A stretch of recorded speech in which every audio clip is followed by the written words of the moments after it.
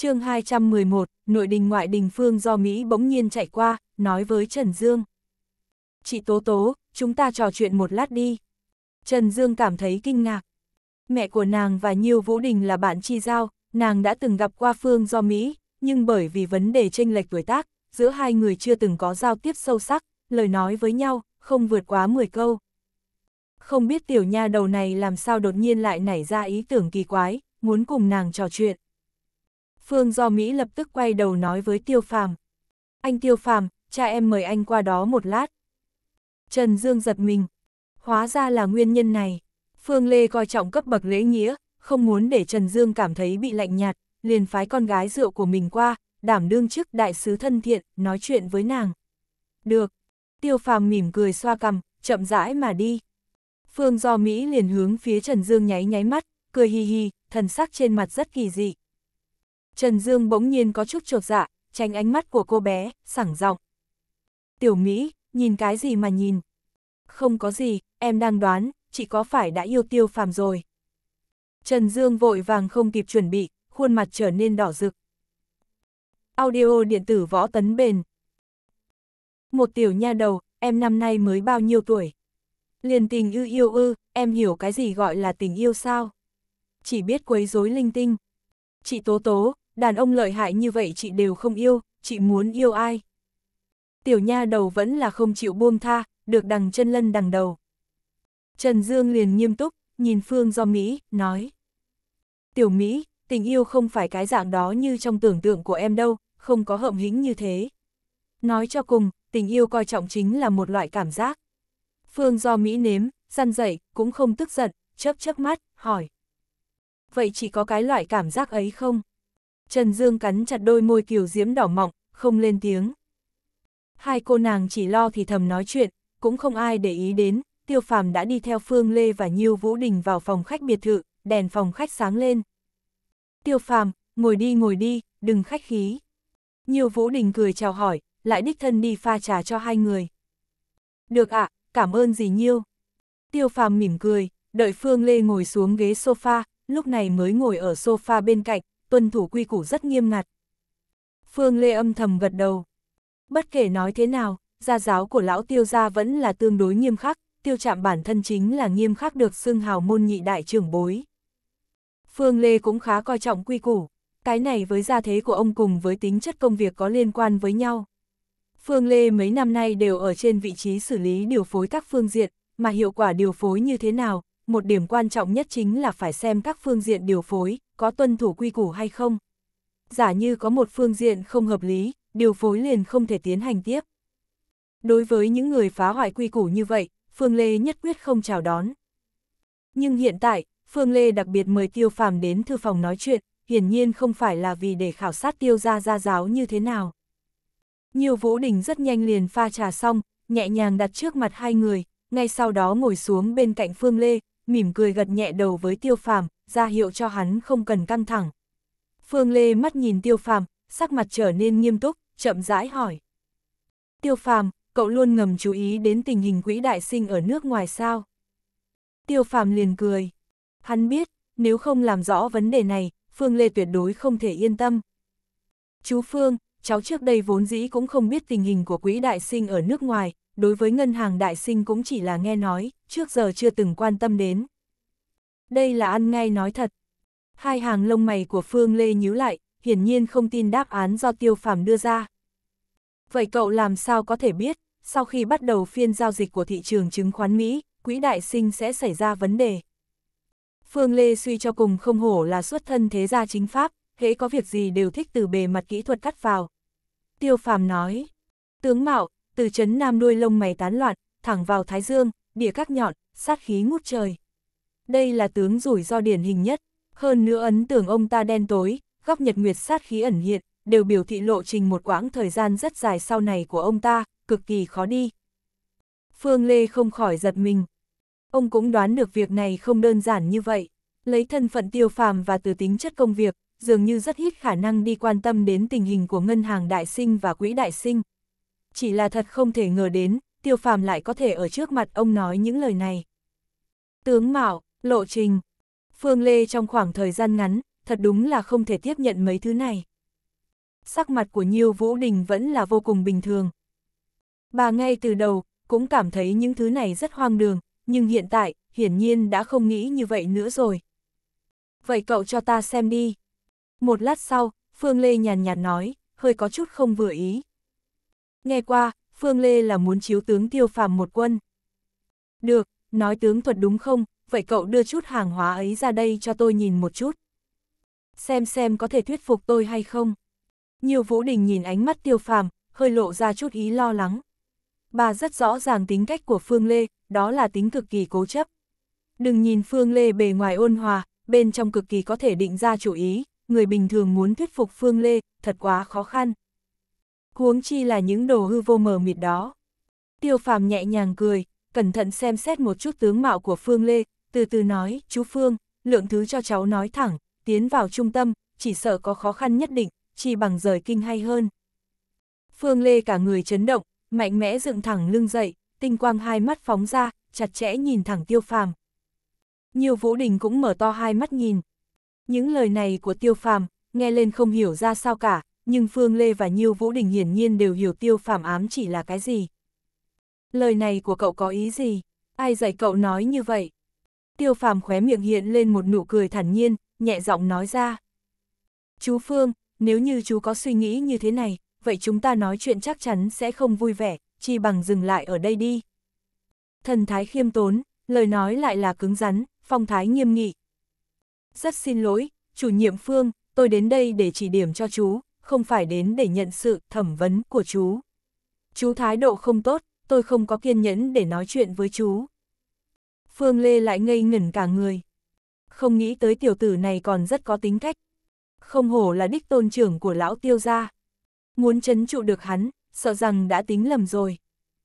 Nhiều Vũ Đình thoáng cười xấu hổ, ôn nhu nói. Tiêu phàm, chú Phương không phải có ý đó. Tính cách của ông ấy chính là thế này, cháu đừng trách. Có lời gì, cháu cứ nói thẳng là được, không sao đâu. Ở đây không có người ngoài. Tiêu phàm mỉm cười gật đầu, lại không nói gì nữa. Nếu là Phương Lê chủ động mời hắn lại đây nói chuyện, thế thì Phương Lê nhất định phải biểu thị thái độ của mình. Vào lúc này, nhiều Vũ Đình không thể đại diện cho Phương Lê. Bản thân Phương Lê không có một thái độ khách quan, vậy thì hiệu quả nói chuyện, chỉ có thể hoàn toàn ngược lại. Tình tiết này, tuyệt đối không thể nhầm. Tiêu phàm khiêm tốn thì khiêm tốn, thời khắc mấu chốt, tuyệt đối không hàm hồ. Phương Lê nhẹ hít một hơi, sắc mặt dịu xuống, từ từ nói. Được, tiêu phàm, mời cậu tiếp tục đi, ta đang nghe đây. Ý tứ này, thực ra chính là, xin lỗi, với tiêu phàm rồi.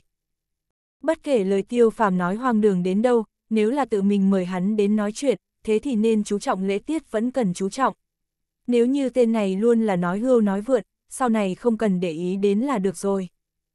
Vâng, chú Phương, tình hình ở Trung ương su mật viện trước mắt, rất phức tạp, tình hình nội bộ cũng không sáng sủa. Từ thời tùy đường đến nay, su mật viện chính là do nội đình thiết lập, kết nối với các cầu nối trong ngoài. Muốn ở lại trong su phủ, nhất định phải có được sự tín nhiệm của đấng trí tôn. Ví như su mật sứ quyền nghiêng trong ngoài, cũng xuất hiện rất ít. Cho dù có ngoại lệ như vậy, thông thường cũng khó có thể kéo dài. Tang Duy Hàn ở triều hậu tấn thời kỳ ngũ đại, trước sau hai lần làm chức su mật sứ kiêm tể tướng, kết cục là người chết gia tộc diệt phong. Vương Tuấn thời hậu chu, su mật sứ kiêm đồng trung thư môn hạ bình trương sự, cuối cùng cũng bị biếm đi Thương Châu, buồn bực sầu não mà chết, nếu không phải quét huy niệm tình lão huynh đệ, chỉ sợ cũng khó lòng thoát chết. Tiêu phàm không vội vàng không hấp tấp, êm tai nói.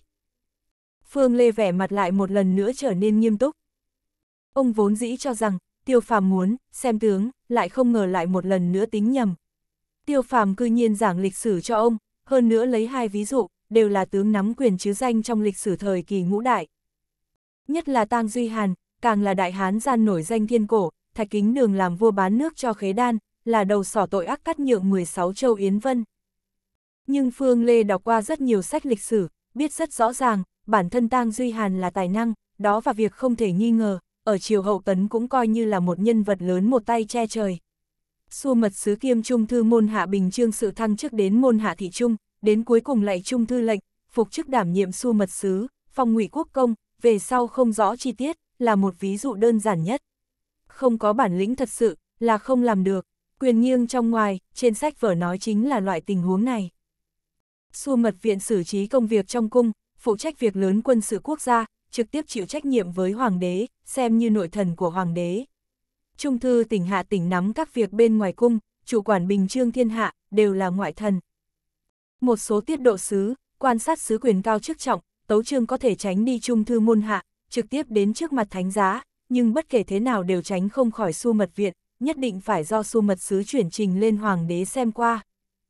Đại khái chính là phân công như vậy. Su mật sứ kiêm tể tướng, đó chính là quyền nghiêng trong ngoài, vừa phụ trách liên hệ giữa hoàng đế và quan đại thần bên ngoài, vừa đi phòng chính sự làm chủ quản.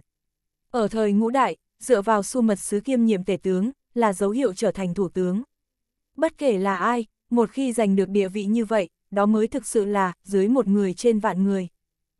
Chỉ có điều, tướng quyền hành như vậy, thông thường kết cục đều tương đối bi thảm. Tướng quyền trực tiếp uy hát Iota ép được hoàng quyền, cuối cùng bị hoàng đế nghi kỵ, chính là chuyện đương nhiên. Phương Lê nhíu mày nói, tình hình hiện tại, trung quy so với cổ đại có chỗ không giống nhau. Tiêu phàm cười cười, nói, chú Phương, tên của cơ quan làm việc thay đổi, thực chất cũng không có biến đổi bao nhiêu. Cơ quan nội đình, danh tước không hiển hiện, thế nhưng trực tiếp đối thoại với tầng cao nhất, kết nối trên dưới, liên lạc trong ngoài, quyền uy rất nặng. Thế nhưng, hễ việc gì có lợi liền có khuyết điểm. Chú Phương, cháu cảm thấy, cơ quan trung ương trước mắt, so với su mật viện trước đây, trừ việc phụ trách quân sự ra, thực tế có cái gì khác nhau sao? Tất cả địa vị, thật ra là giống nhau. Chủ nhiệm phó chủ nhiệm của phòng làm việc trung ương, cấp bậc rất cao, quyền lực rất lớn, thế nhưng lại có một nhược điểm chí mạng, đó chính là tự mình không có thể chế chấp hành, tất cả quyền lực đều đến từ sự ủy thác của tầng cao nhất. Vì vậy, lấy được sự tín nhiệm của lãnh đạo tầng cao nhất chính là chỗ dựa căn bản. Muốn thực hiện lý tưởng và hoài bão chính trị chỉ có thể phụ thuộc vào người khác. Mặt khác, bất kỳ các bộ và ủy ban trung ương quốc gia nào đều có thể chế chấp hành của riêng mình, chính sách do bọn họ định ra, chỉ cần thông qua phê chuẩn, liền có thể thi hành trong cả nước, đây chính là khác biệt. Đứng đầu trung ương, trên người có dấu vết phe phái, thật sự rất rõ ràng. Khi vinh cùng vinh, khi tổn hại cùng tổn hại. chương 212, nói đều chúng. Tiêu phàm, cậu đối với điển cố lịch sử vẫn là rất hiểu rõ đấy. Phương Lê nhàn nhạt nói. Tôi mời cậu tới, không phải muốn đàm luận điển cố lịch sử với cậu, cậu không phải nói tướng thuật sao. Tiêu phàm cười cười, ánh mắt thoáng nhìn ở đỉnh đầu thưa thớt của Phương Lê, nói. Chú Phương, tóc của chú đen mướt sáng bóng, thiên đình rộng lớn nở nang, góc nhật nguyệt phong long, sơn căn no đủ, hai tai dày, hai mắt có thần, đây rõ ràng là tướng của bậc thượng thư. Thế nhưng khóe mắt có vân ác, chủ nhân thời kỳ tới dễ bị xâm hại. Loại tướng này, hợp động không hợp tính, ở lại Bắc Kinh, chưa hẳn đã là lựa chọn tốt nhất. Nhiều Vũ Đình giật mình kinh hãi, không kìm nổi hỏi. Cháu nói là, đi ra ngoài tương đối tốt, Phương Lê liền chừng mắt nhìn vợ một cái. Như thế nào vừa mới một chút đã bị người ta kéo vào rồi. Tiêu phàm không đi để ý ánh mắt của Phương Lê, nghiêm túc nói. Chú Phương, tình hình ở tầng cao, chú so với cháu rõ ràng hơn nhiều, cháu không dám múa dìu qua mắt thợ. Thuần túy chiếu theo tướng lý mà nói, cháu cho rằng trong khoảng thời gian ngắn, văn phòng làm việc nội các quả thực không phải là lựa chọn tốt nhất. Vì sao? Tiêu phàm nói.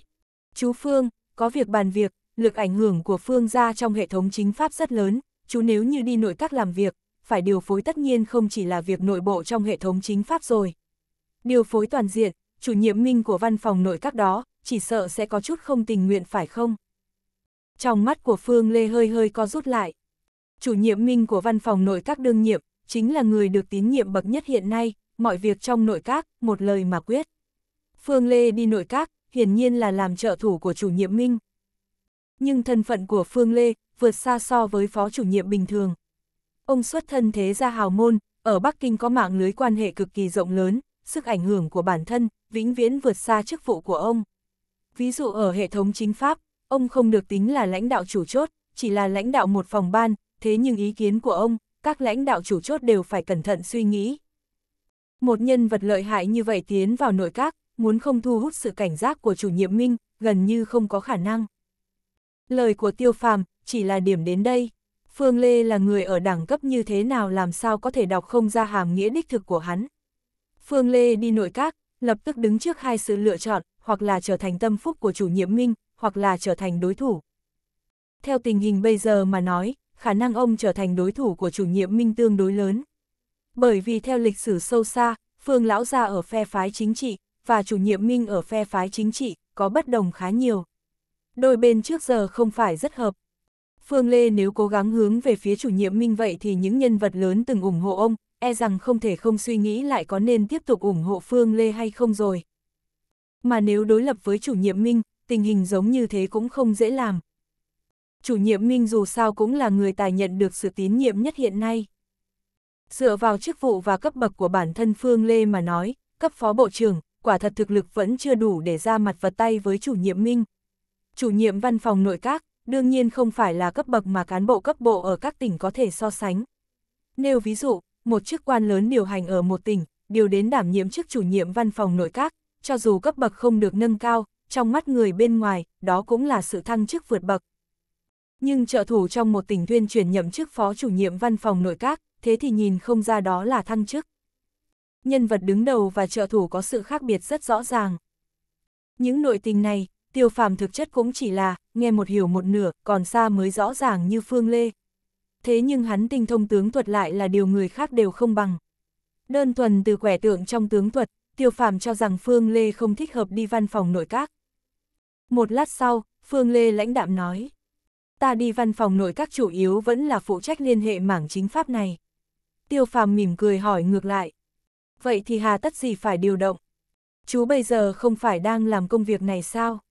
Trong nội bộ hệ thống chính pháp, chú cái gì cũng đều rất quen thuộc, ngay cả lãnh đạo chủ chốt đều phải trưng cầu ý kiến của chú, có uy quyền còn sót lại của Phương Lão Gia, Phương Gia vĩnh viễn đều là thế lực lớn của hệ thống chính pháp. Bây giờ nỡ từ bỏ đại bản doanh của mình, một mình đi đến nội các, thực tế vẫn là phụ trách chiến tuyến liên hệ chính pháp, quả thật có chút uổng công vô ích rồi. Phương Lê trầm ngâm, có những lời, ông cũng không tiện nói thấu triệt với tiêu phàm. Để ông đi văn phòng nội các thực ra là một đề nghị của một vị ông trùm, ông trùm đó với Phương Lão ra quan hệ rất tốt đẹp, hy vọng Phương Lê sau khi tiến vào nội các có thể đi phân quyền với chủ nhiệm Minh. Nghiêm khắc mà nói, đề nghị này của ông trùm đó cũng là mang theo tư tâm. Rõ ràng là muốn mượn lực ảnh hưởng của Phương gia, đi chống lại sự độc quyền của chủ nhiệm Minh ở văn phòng nội các, từ đây đem ý chí của bản thân, dần dần thâm nhập vào cơ quan nội các. Nhưng không thể không nói, đây chính là một con đường tốt nhất mà Phương Lê lấy được sự tín nhiệm và ủng hộ của ông trùm này. Đây là nguyên nhân thực sự mà Phương Lê muốn đi văn phòng nội các. Tiêu lão ra dù sao cũng đã không còn tại vị, Phương Lê sau này càng phải dựa vào sự cố gắng của bản thân mình nhiều hơn. Có thể giành được sự coi trọng của một ông trùm, cũng không phải là chuyện đơn giản như vậy. Không biết có bao nhiêu nhân vật quan trường, đối với cơ hội như thế này tha thiết ước mơ. Sự do dự trong lòng của Phương Lê, tiêu phàm có thể lý giải, chú ý sắc mặt của Phương Lê, chậm rãi nói. Chú Phương, bản thân chú chính là tướng cực phú quý, quý nhân tương trợ chỉ là dệt hoa trên gấm.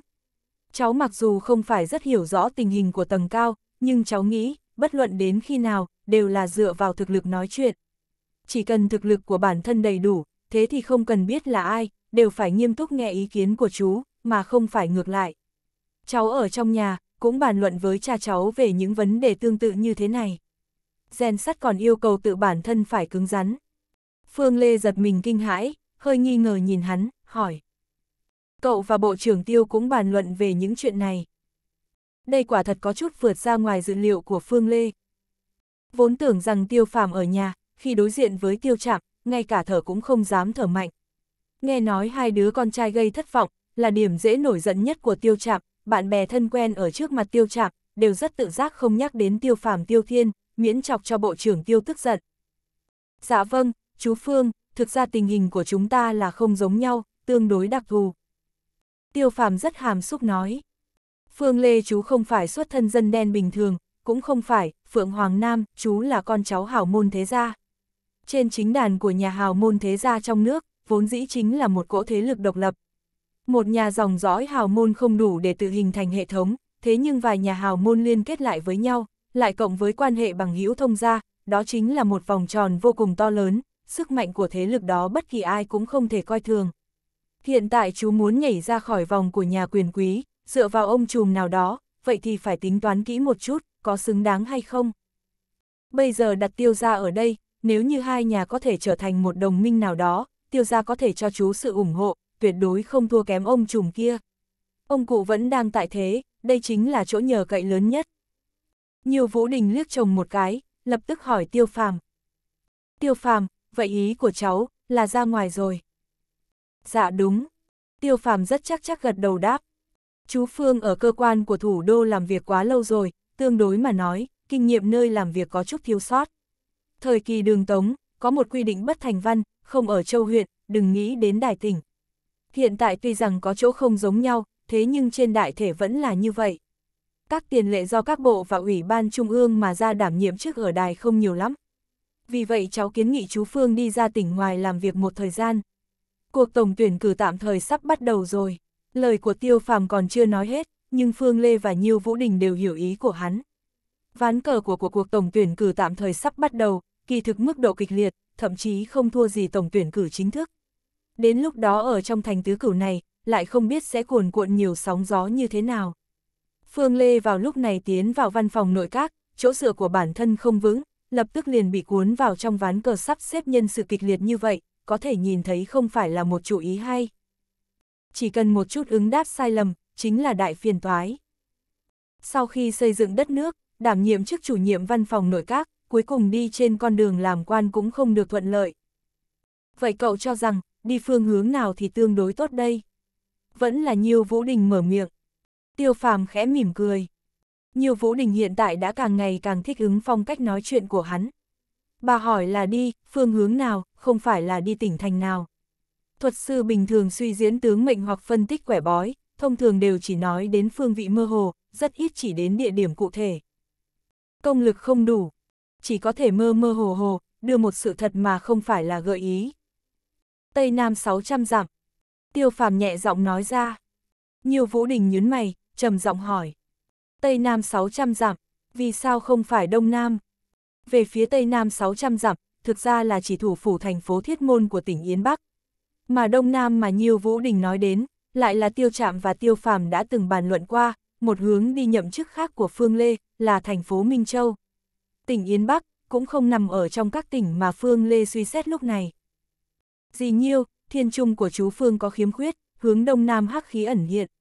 Đi Đông Nam, không phải là phương hướng tốt nhất, dựa vào tướng mạo của chú Phương mà nói, trong thời gian gần đây, 600 dặm về phía Tây Nam, mới là phúc địa của chú ấy, rất có ích lợi. Sắc mặt của Phương Lê, trong lúc bất chi bất giác lại xa sầm xuống, lạnh nhạt nói. Được rồi, tiêu phàm, chúng ta nói chuyện bèn dừng ở đây đi. Lập tức khóe miệng lại hiện ra một tia tươi cười, ngữ khí lại trở nên ôn hòa. Dì Nhiêu giới thiệu Trần Dương cho cậu, cậu vừa ý chứ? Ta cảm thấy cô gái đó không tệ, cậu nếu như cảm thấy vừa ý, tiếp xúc nhiều hơn một chút xem thế nào. Trưởng bối quan tâm vãn bối, đây cũng là ý mà trong chủ đề nên có. Tiêu phàm liền đứng dậy, không người về phía Phương Lê và Nhiêu Vũ Đình, khách khí nói. Được ạ, à, cảm ơn sự quan tâm của chú Phương và dì Nhiêu. Ta tiến cháu. Nhiêu Vũ Đình cũng vội vàng đứng dậy theo, tiễn tiêu phàm ra cửa, ngay sau đó lập tức quay lại, mắt nhìn Phương Lê, trong mắt mang theo ý trưng cầu. Phương Lê nhẹ nhàng lắc đầu, khóe miệng hiện lên một tia khinh thường, dừng dưng nói. Nói chuyện kỳ quái. Sắc mặt của Nhiêu Vũ Đình hơi ngưng lại, nhẹ giọng nói. Em thấy, anh vẫn là nên suy nghĩ kỹ một chút đi, em cảm thấy, cũng không phải không có lý, liền giống như chuyện của từ Trấn Nam vừa nãy. Trùng hợp mà thôi, không thể đánh đồng. Phương Lê khoát tay áo, nói. Nhiều Vũ Đình đang định khuyên tiếp, điện thoại của Phương Lê bỗng reo lên, Phương Lê cầm lấy điện thoại nhìn, sắc mặt lập tức trở nên nghiêm túc, ấn vào nút nghe. Xin chào, chủ nhiệm Thịnh, là tôi, ha ha, chào anh chào anh. Ngữ khí của Phương Lê rất khách khí, bật cười ha hả nói. Nhưng theo lời đáp lại, nụ cười trên mặt Phương Lê từ từ biến mất, hai hàng lông mày dương lên, có vẻ cực kỳ kinh ngạc, dường như chủ nhiệm thịnh trong điện thoại nói chuyện gì làm cho người ta giật mình. Được rồi, được rồi, tôi biết rồi, cảm ơn chủ nhiệm thịnh. Được, được, tạm biệt. Làm sao thế? Đợi Phương Lê cúp điện thoại, nhiều Vũ Đình liền quan tâm hỏi. Bà thế nhưng lại biết chủ nhiệm thịnh trong miệng của Phương Lê là thần thánh phương nào, chính là người phụ trách văn phòng của ông trùm đó, ở bộ và ủy ban trung ương nào đó nhậm chức cán bộ cao cấp treo hàm phó lãnh đạo. Trong khoảng thời gian này, Phương Lê và chủ nhiệm thịnh liên hệ khá chặt chẽ. Phương Lê không đáp, ánh mắt thẳng tắp nhìn phía ghế sofa tiêu phàm vừa mới ngồi, trên mặt lộ ra thần sắc cực kỳ quái dị. Lông mày của Nhiêu Vũ Đình cũng dương lên, trong lòng dường như cũng đã mơ hồ đoán ra cái gì đó. Lão Thịnh nói, liên quan đến vấn đề anh đi làm việc ở văn phòng nội các, chủ nhiệm Minh đưa ra ý kiến bất đồng, dường như lão ta có chút không muốn anh và lão vào cùng bộ máy. Một lát sau, Phương Lê mới chậm rãi nói. Hả, thế, Tiêu Phàm nói đúng rồi sao? Nhiều Vũ Đình kinh ngạc nói. Còn chưa dừng ở đó. Phương Lê lại lắc đầu, hai hàng lông mày nhíu chặt, thần sắc trên mặt, dường như cực kỳ khó có thể lý giải. Lão Thịnh còn nói, sắp xếp nhân sự ở Minh Châu bên kia, có quyết định khác. Khả năng sắp xếp ban đầu không thể thi hành được. Ông ấy hỏi anh, có muốn đi Yến Bắc làm việc một thời gian hay không, sắp xếp chức vụ với Minh Châu bên kia là giống nhau, tổ, phân công quản lý chính trị pháp luật. Còn nói đây là ý kiến của đồng chí ủy viên thường vụ. Đôi môi nhiều Vũ Đình hơi mở ra, thành một hình tươi đẹp, mắt mở lớn, lộ ra thần sắc tuyệt đối không thể tin được. Yên Bắc, thành phố Thiết Môn. 600 dặm về phía Tây Nam. chương 213, ý không ở trong lời. Phòng bên cạnh còn đang trong cây Iota ép sợ, Nhiêu Ngọc Sinh lại chạy vào rồi. Nhiêu Ngọc Sinh khoảng tầm hơn 40 tuổi, là em trai của Nhiêu Vũ Đình, kế thừa đại bộ phận sản nghiệp của Nhiêu gia, trong giới thương gia trong nước cũng là nhân sĩ nổi danh. Nhiêu Ngọc Sinh gật đầu trước với anh rể, sau đó vội vã nói với Nhiêu Vũ Đình. Chị, từ Trấn Nam gọi điện thoại đến cầu cứu rồi. Thần sắc thật là lo âu. Đối với sự lo âu của em trai, Nhiêu Vũ Đình rất hiểu, Nhiêu Ngọc Sinh là một trong những đại cổ đông lớn của Ngân hàng Đại Sinh. Nếu như từ Trấn Nam và Ngân hàng Đại Sinh sụp đổ, tổn thất của Nhiêu Ngọc Sinh sẽ rất thê thảm. Mặc dù nói không đến mức liên lụy đến cả tập đoàn Nhiêu Thị sụp đổ, ít nhất cũng sẽ làm tổn hại đến nguyên khí. Một ngân hàng sụp đổ, tuyệt đối không dừng lại ở một mắt xích tiền bạc đơn giản như thế. Bên trong có rất nhiều gút mắc rắc rối. Độ tín nhiệm của công chúng cũng là cực kỳ quan trọng. Cậu có thể cứu nổi ông ta sao? Không đợi nhiều Vũ Đình trả lời, Phương Lê mở miệng trước, nhẹ giọng hỏi. Với tình huống bình thường, ông và Nhiêu Vũ Đình đang ở thư phòng, Nhiêu Ngọc Sinh sẽ không tùy tiện chạy vào, lần này nhìn bộ dạng là vì ép gấp gáp rồi, không quan tâm đến lễ tiết lễ độ gì đó nữa. Nhiêu Ngọc Sinh lập tức quay mặt về phía anh rể, lo âu nói. Anh, chuyện này à, vẫn thật sự phải nghĩ cách. Nếu không, chúng ta quá bị động rồi. Ngày Phương Lê và Nhiêu Vũ Đình còn yêu nhau, Nhiêu Ngọc Sinh còn tương đối nhỏ, trước giờ luôn gọi Phương Lê là anh, nhiều năm như vậy, đều gọi quen rồi, sau đó Phương Lê và Nhiêu Vũ Đình kết hôn, Nhiêu Ngọc Sinh cũng chưa từng sửa lại cách gọi. Cái khác không nói đến, số tiền liên lụy đến quả thực quá lớn, cho dù lấy thực lực tài chính của tập đoàn Nhiêu Thị, cũng cầm cự không nổi. Phương Lê, hừ, một tiếng, có chút không hài lòng nói. Lúc đầu tôi đã nhắc nhở cậu, lá gan của từ Trấn Nam quá lớn, quá ư bốc đồng, hợp tác với ông ta phải cẩn thận. Cậu là nhìn thấy đầu tư dễ làm, não bị làm cho váng vất. Hiện tại ngân hàng trung ương thu gấp gáp như vậy, dưới từ Trấn Nam là cái lỗ thủng to như thế, lấy cái gì đi đắp. Đầu tư vốn quá khó khăn rồi. Phương Lê tuy rằng luôn luôn tại hệ thống chính trị pháp luật làm việc, đối với con đường tài chính, tuyệt đối không xa lạ gì. Khuôn mặt Nhiêu Ngọc Sinh lập tức khổ não. Đừng xem những lời vừa rồi là y nói với Nhiêu Vũ Đình, thực ra là muốn nói cho Phương Lê nghe thấy. Chuyện lớn như vậy, Trung Quy vẫn cần Phương Lê làm chủ, y mới có thể yên tâm. Nhiêu Ngọc Sinh trước giờ luôn rất kính phục Phương Lê, cũng rất sợ người anh rể này. Nhiều Vũ Đình liền nhìn về phía Phương Lê, trên mặt cũng lộ ra thần sắc lo âu. Phương Lê trầm ngâm một chút, bỗng nhiên nói. Ngọc Sinh, bảo từ Trấn Nam đi tìm tiêu phàm. Hả? Nhiều Ngọc Sinh nhất thời trong chốc lát thẫn thờ. Nhiều Vũ Đình hai mắt sáng ngời, liên tục gật đầu, nói. Đúng, Ngọc Sinh, anh của cậu nói đúng, cậu bảo từ Trấn Nam đi tìm tiêu phàm. Bây giờ có lẽ chỉ có tiêu phàm mới có thể có cách cứu ông ta rồi. Cái này, chị, cái này có tin được không? Mặc dù vừa rồi tiêu phàm, tiên đoán, thần kỳ, như Ngọc Sinh là tận mắt nhìn thấy, cũng vô cùng gây ết yêu ta ép sợ. Thế nhưng tiên đoán là tiên đoán, với cứu người, là hai chuyện khác nhau. Đó lại là lấy trăm triệu làm đơn vị tính toán số tiền khổng lồ kia. Tiêu phàm cho dù là thầy tướng lớn, cũng không thể biến ra nhiều tiền như vậy chứ. Nhiều Vũ Đình trầm giọng nói. Ngọc Sinh, huyền học trước đây chị cũng không tin, nhưng bây giờ chị tin rồi. Em bảo từ Trấn Nam đi tìm tiêu phàm, mấu chốt phải xem tiêu phàm có muốn giúp chuyện này hay không thôi. Từ Trấn Nam cũng thật là, con mắt hợm hĩnh như thế, đắc tội sâu sắc với người ta rồi. Em bảo ông ta lập tức đi chịu đòn thỉnh tội, có lẽ có chút tác dụng. Phương Lê liền mỉm cười, thản nhiên nói. Không sao, Ngọc Sinh, bảo từ Trấn Nam đi tỉ tiêu phàm đi. Tiêu phàm không phải người có bụng dạ hẹp hòi, lão tiêu gia không có người có tầm nhìn thiển cận. Dừng lại một chút, lại nhẹ nhàng lắc đầu, thở dài một hơi, nói. Thiên lý mã A, không ngờ thiên lý mã của lão tiêu gia, lại là tiêu phàm mà ai cũng không đánh giá cao này. Kỳ thật lần gặp mặt đến lúc này, đã chuẩn bị kết thúc rồi. Từ Trấn Nam vội vàng hấp tấp rời đi không lâu, liền có khách lục tục rời hội trường. Những người khách vội vàng rời đi này, nhiều ít đều có quan hệ chút gì đó với quỹ đại sinh hoặc là với ngân hàng đại sinh của Từ Trấn Nam. Mắt thấy Từ Trấn Nam bên kia xảy ra chuyện lớn, cũng liền không thể đợi được nữa. Phương Lê nhiều Vũ Đình Nhiêu Ngọc Sinh từ trong thư phòng đi ra, Uông Thuật Đô, Tiết Đào đang cùng Tiêu Phàm nói lời cáo từ. Uông Thuật Đô vẫn là nụ cười thận trọng, phong độ nhẹ nhàng.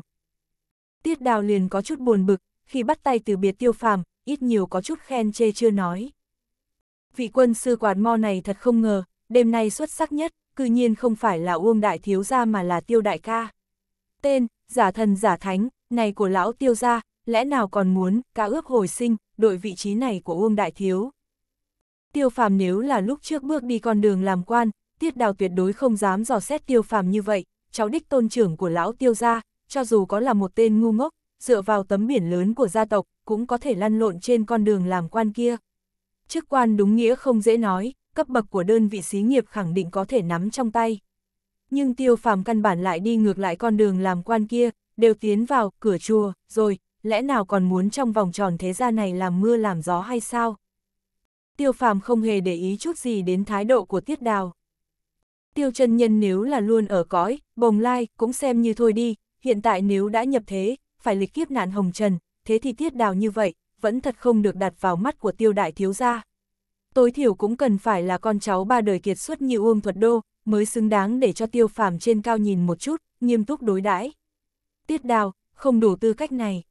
Hàn huyên với tiêu phàm vài câu, lại cảm ơn một chút với Phương Lê, nhiều Vũ Đình, nhiều Ngọc Sinh, Uông Thuật Đô liền phất áo chia tay. Cùng Tiết Đào rời đi. Vừa lên xe, Tiết Đào liền vội vàng nói. Thuật Đô, anh cảm thấy tiêu phàm là có tính toán gì? Uông Thuật Đô nhẹ giọng nói ra. Rất lợi hại. Vậy sao, lợi hại ở chỗ nào, em làm sao không nhìn ra? Tiết Đào vừa nói vừa khởi động xe BMW. Đây là xe của Tiết Đào, xe của Uông Thuật Đô, là một chiếc Santana tương đối cũ. Uông Thuật Đô trước giờ đều chưa từng đổi xe. Trên phương diện này, Uông Thuật Đô đều có những quy tắc nhất định của chính mình, bất kỳ ai đều khó có thể thay đổi quyết định của anh ta. Trong mắt của anh em bang hội, Uông Thuật Đô đây chính là có trường phái. Từ trước đến nay nhân vật lợi hại muốn thành đại sự, đều có nguyên tắc riêng của bản thân, tự mình kiên trì. Uông Thuật Đô khe khẽ thở dài, nói. Đào tử, cậu không thể nhìn vấn đề như vậy. Tiêu phàm là học đạo, nhưng người ta học đạo học ra thủ thuật có tiếng. Con đường nào cũng dẫn đến thành Rome, hắn tự mình không thể đi theo thể chế, tiêu thiên không phải đi rồi sao? Lẽ nào cậu còn nhìn không ra, tiêu phàm hôm nay tuyệt đối không đấu với cậu, cũng không phải muốn đấu từ Trấn Nam, hắn là muốn thu phục từ Trấn Nam, sử dụng cho mình. Loại thủ đoạn này rất cao minh. Thu phục từ Trấn Nam. Tiết đào có chút khó hiểu, chớ nhìn gã là quân sư, trong hội, đó tuyệt đối không biểu thị não của gã so với Uông Đại Thiếu gia thông minh hơn, chỉ là Uông Đại Thiếu phải cố ý đắp nặn hình tượng cao lớn toàn cục của bản thân, rất nhiều việc không tiện ra mặt, cần quân sư, như gã đi sắp xếp. So với những anh em khác, Tiết Đào có không ít khôn vặt, đầu óc chuyển biến mau. Thế nhưng khôn vặt không phải trí tuệ lớn, khác biệt ở giữa hai cái này, quá rõ ràng. Đúng, cậu liền đợi xem đi, từ Trấn Nam từ nay về sau, đối với tiêu phàm cúi đầu phục sát đất. Tiết đào bĩu môi, khinh thường nói. Cho dù hắn có thu phục được từ Trấn Nam, vậy thì thế nào? Từ Trấn Nam bây giờ, có thể vượt qua kiếp nạn này hay không còn rất khó nói. Em đã sớm biết tên này là một tên gan to ngu ngốc, vì đi ra đầu gió, chuyện gì cũng dám làm. Lần này à, không chết cũng phải lột một lớp da. Một người xa cơ thất thế như vậy, tiêu phàm hắn muốn, vậy thì để hắn cầm đi được rồi, chúng ta không thèm. Uông thuật đều hai hàng lông mày nhíu lại, lắc lắc đầu, hạ giọng nói nói. Đào tử, mục tiêu của tiêu phàm không phải từ Trấn Nam. Tiết đào lập tức cảnh giác lên, đạp mạnh chân phanh xuống, đem xe BMW dừng lại ở bên vệ đường, nhìn về phía Uông Thuật Đô, giật mình nói. Anh là nói đến Phương Lê. Ừm. Tiết đào bừng tỉnh hiểu ra, liên tục gật đầu, nói. Chẳng trách hắn khoa trương như vậy, đem từ Trấn Nam làm đá kê chân. Thế nhưng, Phương Lê không phải dễ dụ như thế chứ. Những thứ đồ này, muốn làm Phương Lê tin, làm gì có dễ dàng như thế. Phương Lê là người thế nào chứ? Uông Thuật Đô nhẹ nhàng dựa thân về phía sau, hai mắt khép hờ, không nói gì nữa.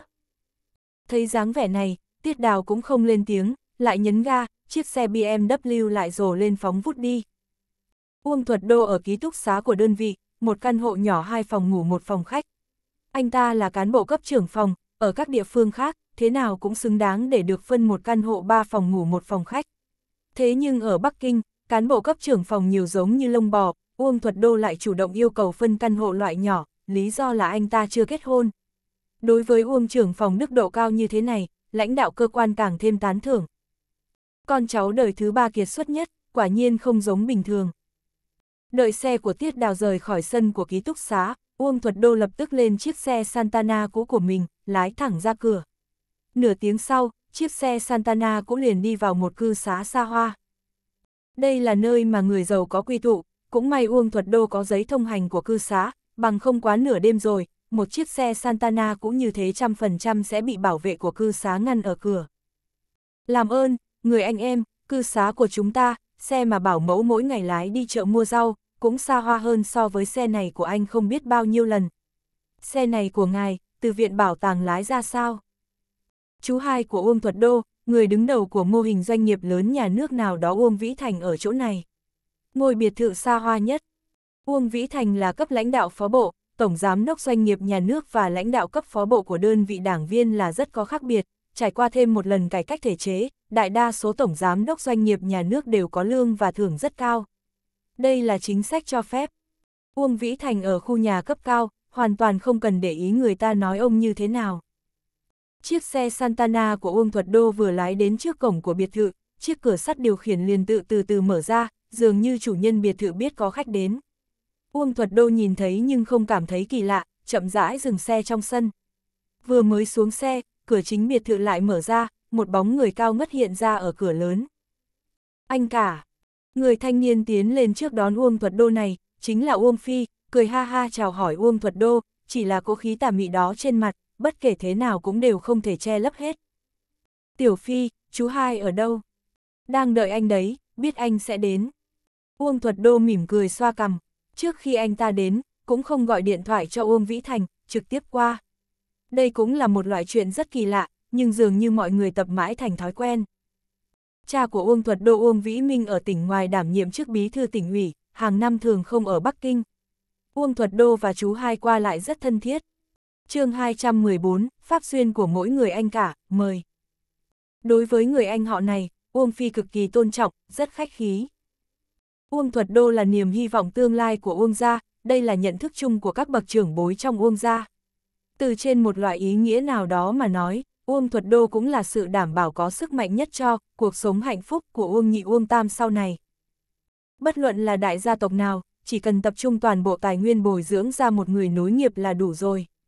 Nếu quá tham lam, muốn bồi dưỡng nhiều hơn mấy người, thế đó tất tạo thành phân tán tài nguyên, không thể hình thành sức lực tổng hợp, kết quả có khả năng nhất, chính là một người nối nghiệp đạt tiêu chuẩn nhất cũng không bồi dưỡng ra, đó mới là đại bi kịch.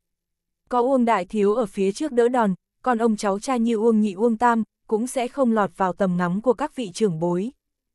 Không ít phương thức bồi dưỡng người kế nghiệp của nhà hào môn thế gia, với Chu Vương Triều Minh có chút giống nhau. Có một thời đại của Triều Minh, trừ Hoàng Thái tử tương lai kế thừa chính thống ra, Hoàng tử Hoàng tôn khác nhất loạt đều rời kinh làm vương gia, núi vàng núi bạc, nô bộc thành đàn, nuôi dưỡng lên, ăn ngon mặc đẹp, hưởng lạc cả đời. Yêu cầu duy nhất, chính là không cho phép những hoàng tử hoàng tôn này vọng tưởng đến hoàng quyền. Vậy nên Minh Tuyên Tông Chu Chiêm Cơ sau khi gờ Iota kết thúc phụ Hán Vương Chu Cao Hú ngưu phản, trừ thời kỳ Minh Võ Tông, Ninh Vương Chu Thần hào tạo phản ra, cũng không có thêm các hoàng tử khác đoạt quyền, xem như là yên tĩnh. Chính sách này mặc dù có hiệu quả ngăn cản con cháu hoàng thất xảy ra lục đục, thế nhưng khuyết điểm cũng hết sức rõ ràng. Chính là các vua của tôn thất Minh Triều, toàn bộ bị nuôi thành một phường giá áo túi cơm. Sau khi nhà Minh bị diệt vong, đế vương của Nam Minh không có lấy một người có thể trở thành người đứng đầu đảm đương trách nhiệm. Uông Thuật Đô dưới sự hộ tống của Uông Phi, tiến vào phòng khách biệt thự. Uông Vĩ Thành ngồi ở ghế sofa bằng da thật xa hoa ở phòng khách chờ đứa cháu trai nổi tiếng này. Uông Vĩ Thành khoảng hơn 50 tuổi, tai to mặt lớn, vô cùng có uy nghiêm. Tóc đen bóng, da căng chặt, sáng rỡ và giàu tính đàn hồi, nhìn qua còn trẻ hơn tuổi thật vài tuổi. Nhất là đôi mắt, tinh quang lóe ra, sắc bén kinh người. Phàm là người gặp qua anh em Uông Vĩ Minh, Uông Vĩ Thành, đều nhất trí công nhận. Chỉ cần nhìn ngoại hình mà nói, Uông Vĩ Thành so với Uông Vĩ Minh càng giống với một người cầm quân đứng đầu hơn. Lúc đầu khi Uông Vĩ Minh đi theo con đường cơ quan hành chính của đảng, Uông Vĩ Thành liền nhập ngũ vào quân đội. Chấp hành cũng là theo, phương châm, không phân tán tài nguyên chính trị.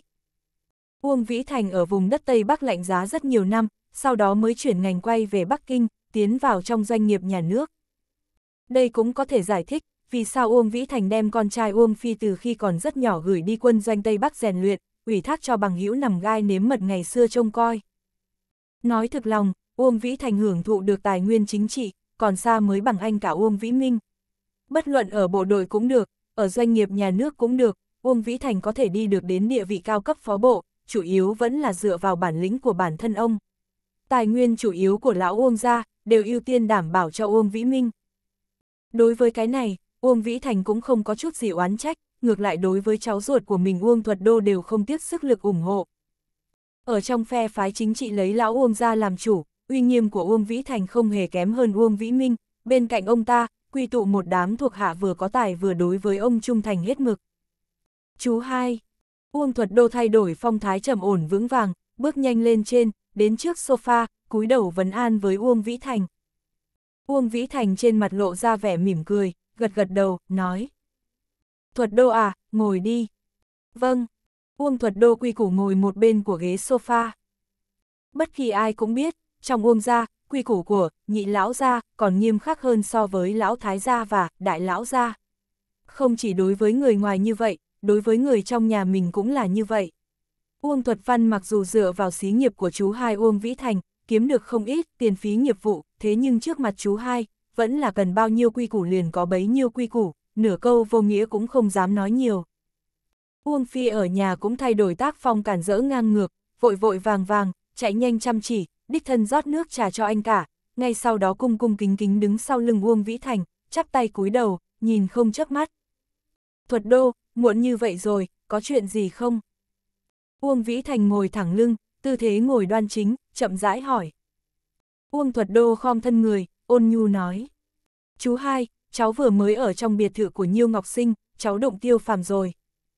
Ồ, đôi lông mày rậm của Uông Vĩ Thành hơi dướn lên trên một chút, thoáng mang theo vẻ kinh ngạc. Sắc mặt Uông Phi lại là trắng nhợt, trong mắt lóe lên một tia hoảng sợ. Y quả thực là bị tiêu phàm đánh cho sợ rồi, chỉ cần nghe đến cái tên này, cả người liền ớn lạnh. Chú hai, tiêu phàm dường như tinh thông thuật tiên đoán bói toán. Uông thuật đô nói, sắc mặt cũng trở nên cực kỳ trang nghiêm. Ngược lại, Uông Vĩ Thành lại vẫn không có biểu hiện gì là bất ngờ, dừng dưng hỏi. Tình huống cụ thể như thế nào, cháu kể lại xem. Dạ vâng. Uông Thuật Đô liền đem tất cả chuyện xảy ra tối nay, tỉ mỉ báo cáo lại một lượt, ngay cả một tình tiết nhỏ cũng không bỏ sót. Không thể nào đâu, hắn có để đoán chuẩn như vậy sao? Không đợi Uông Vĩ Thành trả lời, Uông Phi liền thốt ra, lập tức giật mình, ngay sau đó cúi đầu xuống, ngay cả thở mạnh cũng không dám. Cũng may Uông Vĩ Thành cũng không quát mắng, chỉ là gật gật đầu, lãnh đạm nói ta biết rồi. Chú hai, Uông Vĩ Thành khoát tay áo, ngăn Uông Thuật Đô, nói. Thuật Đô, mỗi một người đều có thiên phú của riêng mình, cũng có vận thế không giống nhau. Cháu yên tâm đi con đường của cháu, những chuyện khác không cần quan tâm. Cháu phải nhớ kỹ, có tiềm lực nhất của tiêu gia chính là tiêu thiên. Cậu ta hiện tại cũng đã xuống cơ sở, xem ra cũng đã yên tâm muốn làm ra thành tích, cháu có thể để ý đến động tĩnh của cậu ta nhiều hơn một chút. Về phần tiêu phàm, cháu không cần quan tâm đến hắn. Về sau cũng hạn chế giao lưu với tiêu phàm, nhớ kỹ lời của chú hai chưa?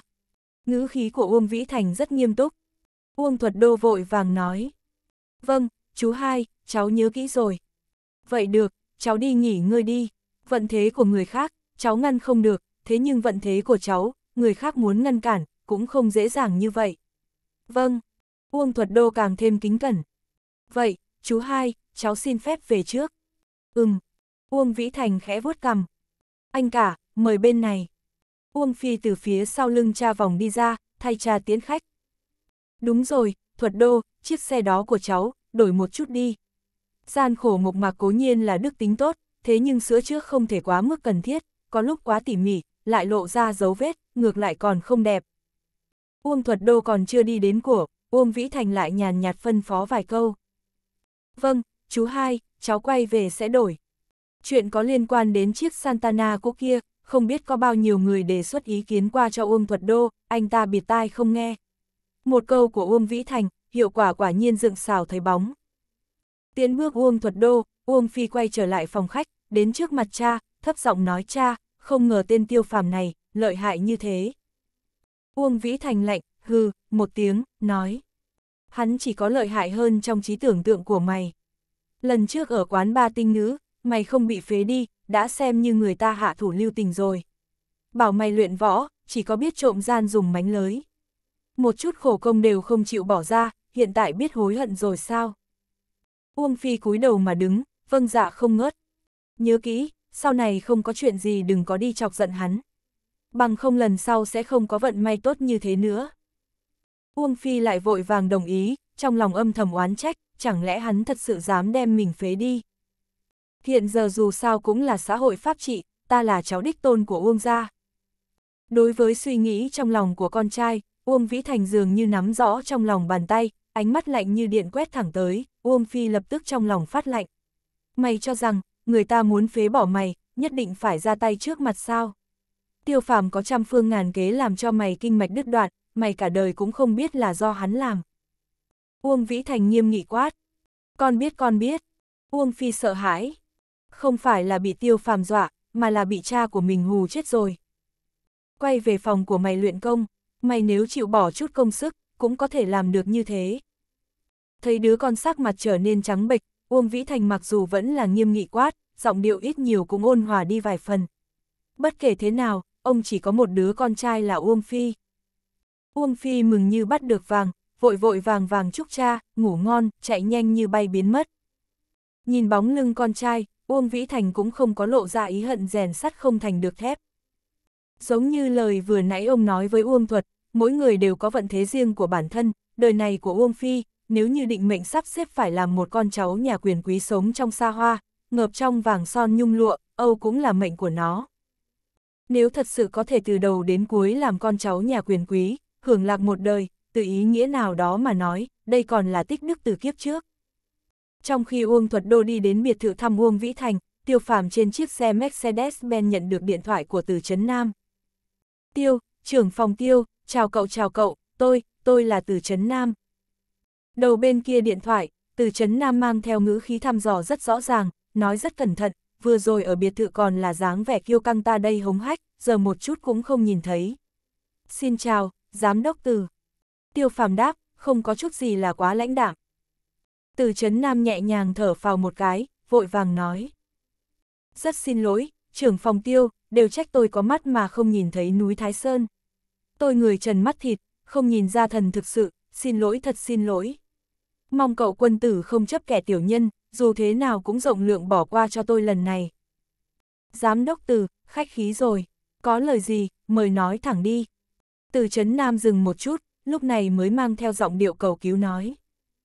Trưởng phòng tiêu, tôi biết, cậu là cao nhân thực sự, tôi lần này hoàn toàn dựa vào sự tương cứu của trưởng phòng tiêu rồi. Cậu dù thế nào cũng phải kéo tôi một lần. Trưởng phòng tiêu, chỉ cần lần này tôi có thể thoát chết, tôi cả đời này sẽ ghi nhớ đại ân đại đức của cậu. Cả đời làm trâu làm ngựa, cậu bắt đi đâu tôi sẽ đi đó, tuyệt đối không nhập nhằng. Suy cho cùng vẫn là xuất thân thế gia, cho dù là cầu xin cũng mang theo, giọng quan, rất rõ ràng. Thế nhưng nghe qua giọng điệu này của từ Trấn Nam, có thể tưởng tượng ra, lão ta lần này quả thực đụng tới vấn đề nan giải lớn bằng trời rồi. Bằng không, dựa vào tính khí kiêu ngạo kia của lão, quyết không đến mức này. Giám đốc từ, chuyện này của ông, độ khó khăn quả thật không nhỏ. Tiêu phàm không nhanh không chậm nói. Tôi biết tôi biết, đối với người khác mà nói, hiển nhiên là trăm nghìn khó khăn, đối với trưởng phòng tiêu cậu mà nói, đó còn không phải là dễ như trở bàn tay. Trưởng phòng tiêu, bất luận thế nào, mong cậu nhất định phải kéo tôi một lần. Vậy được rồi, 9 giờ sáng ngày mai, tôi đi đến văn phòng của ông xem một chút rồi nói sau. Tiêu phàm cũng không có tiếp tục đắn đo. Được được, cảm ơn cảm ơn. Từ chấn Nam tất nhiên là cảm ơn ngàn vạn lần, từ ngữ như sóng chiều dâng. chương 215, vị cứu tinh lớn. Toàn bộ nhân viên văn phòng của ngân hàng đại sinh đều rất kinh ngạc khi phát hiện giám đốc từ của ngân hàng đến từ rất sớm. Thậm chí, lúc giám đốc từ lái chiếc xe Mercedes-Benz sang trọng đến cửa, anh bảo vệ còn ngủ gà ngủ gật bị giám đốc bắt quả tang, toàn thân toát mồ hôi lạnh. Người bảo vệ này trước cũng đã từng ngủ gật, bị quản lý bắt gặp, liền phạt hơn 200, nhưng chưa bao giờ bị chính giám đốc ngân hàng bắt tại trận. Trái với dự đoán của người bảo vệ chính là giám đốc ngân hàng đã không chỉ trích anh ấy. Người bảo vệ có cảm giác, giám đốc từ thậm chí không liếc nhìn anh ta một cái, cửa vừa mở, chiếc Mercedes-Benz lập tức đi vào trong. Sau đó, bảo vệ kinh hãi nhìn thấy, dáng đứng của giám đốc từ trên bậc cầu thang thẳng tắp, đứng ở trước cửa trụ sở làm việc, tư thế kia, so với quân nhân, nhìn đứng đắn không kém. Bảo vệ lập tức đoán rằng, hôm nay có nhân vật tai to mặt lớn sẽ đến. Buổi tối hôm qua giá cổ phiếu tại thị trường Mỹ sụt giảm, người bảo vệ gác cửa không biết chuyện như vậy xảy ra. Anh ta chỉ là nhân viên bảo vệ bình thường, nên tất cả những chuyện xảy ra bên trong tòa nhà, biết không nhiều lắm. Cho dù anh ta biết được tin tức kia, cũng sẽ không có phản ứng gì. Anh ta không đủ khả năng hiểu rõ mối quan hệ bên trong. Thị trường chứng khoán Mỹ và ngân hàng châu Á của ta có quan hệ quái gì chứ? Nhưng dáng vẻ của giám đốc từ trong mắt các nhân viên, rất không giống lúc trước. Nếu là viên chức cao cấp của ngân hàng, không thể không chú ý nhiều đến tình hình ngân sách. Suy nghĩ công ty gặp chuyện không may, cổ phiếu tại Mỹ sụt giảm, ngân hàng có ý nghĩa đối với ông ta như thế nào thì trong lòng tất cả mọi người đều hiểu rõ. Giám đốc từ, chào buổi sáng. Mặc dù tất cả mọi người hết sức kinh ngạc, nhưng hết sức lễ phép chào hỏi từ Trấn Nam. Cho dù phải ngân hàng đại sinh bị phá sản, từ Trấn Nam cũng không phải là người mà bọn họ có thể làm mất lòng được. Ở giới tài chính của thủ đô, thậm chí cả trên thế giới, từ Trấn Nam đều được coi là nhân vật số một. Một số ít các cán bộ ngân hàng, thậm chí còn biết rõ ra thế quyền quý của từ Trấn Nam, là con cháu quý tộc. Từ Trấn Nam lơ đáng, tình cờ gật đầu, xem như trả lời, đôi môi mím chặt. Các nhân viên đều nhìn thấy mí mắt sưng vù của giám đốc ngân hàng từ, hai mắt đỏ ngầu, bất kể tinh thần của ông ta mạnh mẽ như thế nào, cũng khó che giấu sự mỏi mệt sâu tận xương tủy kia. Bởi vậy có thể thấy được buổi tối hôm qua giám đốc ngân hàng từ cả đêm không chập mắt như vậy, nhất định bị gây sức ép quá lớn. Theo tin tức xấu từ bên kia đại dương truyền đến, thực sự rất bị tra tấn. Người rất chú trọng đến dung mạo như giám đốc từ, thậm chí ngay cả cà vạt còn quên đeo. Đây là tình huống từ trước đến nay chưa hề xảy ra. Từ Trấn Nam là một người quản lý đặc biệt rất chú ý đến những chi tiết cực kỳ nhỏ, thậm chí ngay cả cách xưng hô của nhân viên đối với ông ta cũng có yêu cầu rõ ràng, phải gọi giám đốc ngân hàng, không được gọi từ tổng hoặc là chủ tịch hội đồng quản trị từ. Vì gọi từ tổng hoặc là chủ tịch hội đồng quản trị từ như vậy thì mùi buôn bán nặng quá, không đủ tỏ vẻ quyền uy của từ Trấn Nam. Bây giờ thế giới gặp khó khăn như thế này, bày bán hàng bên vỉa hè cũng dám tự xưng tổng giám đốc. Quá vô giá trị. Nhưng giám đốc ngân hàng cũng là một kiểu xưng hô riêng, chủ hàng vỉa hè cũng không thể lấy danh xưng này được. Mấy năm nay tổng giám đốc hoặc là chủ tịch hội đồng quản trị khúm núm trước giám đốc ngân hàng là quá nhiều. Có thể thấy tâm tình giám đốc ngân hàng từ không tốt, đại đa số viên chức đều rất tự giác, sau khi chào hỏi với Tử Trấn Nam, liền vội vã chạy vào tòa nhà văn phòng. Nếu chẳng may vận khí không tốt, bị giám đốc ngân hàng từ bắt được chửi mắng một trận, chẳng phải là tai bay vạ gió sao. Một số viên chức cấp thấp, thậm chí không dám nói lời chào trực tiếp, liền từ hai bên trái phải chạy mất. Chỉ có hai vị phó giám đốc ngân hàng và tránh văn phòng không thể trốn, bọn họ là nòng cốt trung kiên của ngân hàng đại sinh, cũng là trợ thủ quan trọng nhất của Từ Trấn Nam ở ngân hàng đại sinh. Lúc bấp bênh, thời điểm gặp phải tai họa ngập đầu, nhất định phải kiên định cùng Từ Trấn Nam đứng chung một chỗ. Thái độ này là hoàn toàn cần thiết, cho dù là giả bộ, cũng phải được giả bộ đến nơi đến chốn. Mặc dù với tư cách là trợ thủ đắc lực cho Từ Trấn Nam, bọn họ cũng đều biết đến các thời điểm sinh tử tồn vong của ngân hàng đại sinh, nếu không có kỳ tích phát sinh, cải tử hoàn sinh là cực kỳ mong manh. Nhưng gia thế quyền quý của Từ Trấn Nam, luôn luôn cho mọi người giữ lại một tia hy vọng cuối cùng. Tại đất nước đại diện cho quyền lực này, những điều kỳ diệu đều có thể xảy ra. Hai vị phó giám đốc ngân hàng và tránh văn phòng lặng yên đứng ở phía sau từ Trấn Nam, ai cũng không nói lời nào. Nhìn tư thế này, bọn họ cũng biết từ Trấn Nam đang đợi người, tuy rằng không biết đó là ai, nhưng nhất định là nhân vật tai to mặt lớn. Có lẽ, vị này sắp đến, chính là vị cứu tinh cuối cùng của Từ Trấn Nam và Ngân hàng Đại Sinh. Từ Trấn Nam không nói chuyện với bọn họ, nhưng cũng không đuổi bọn họ đi. Lúc này, ông ta thật sự cũng cần một chút ủng hộ tinh thần. Có người đứng ở sau lưng, trong lòng hoặc nhiều hoặc ít sẽ kiên định hơn một chút, không đến mức chống trải. Không khí phía trước cửa ngân hàng đại sinh cần có bao nhiêu trang nghiêm thì có bấy nhiêu trang nghiêm. Từ Trấn Nam đợi từ 7 giờ cho đến 9 giờ, suốt 2 giờ, cứ đứng như vậy, một bước cũng không dịch chuyển, thật giống như cả người đều bị đóng đinh trên bậc thang đá đại lý. Từ Trấn Nam cũng biết, nếu mình đi lại mấy bước, sẽ thoải mái một chút, nhưng ông ta cảm thấy, cứ như vậy, thì có vẻ không đủ thành tâm. Tiêu phàm nhất định có thể cảm giác được. Giờ này khắc này, địa vị của tiêu phàm ở trong suy nghĩ của từ Chấn Nam đã đến gần vô hạn của thần tiên sống.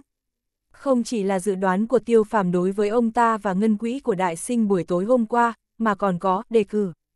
Phương Lê Nhiêu Ngọc Sinh chính mồm nói cho ông ta biết, sau khi nói chuyện với tiêu phàm, Phương Lê sẽ để cho từ Trấn Nam đi tìm tiêu phàm giải quyết vấn đề nan giải. Từ Trấn Nam rõ ràng hiểu rõ, ý này của Phương Lê kỳ thật cũng đã chấp nhận lý luận này rồi.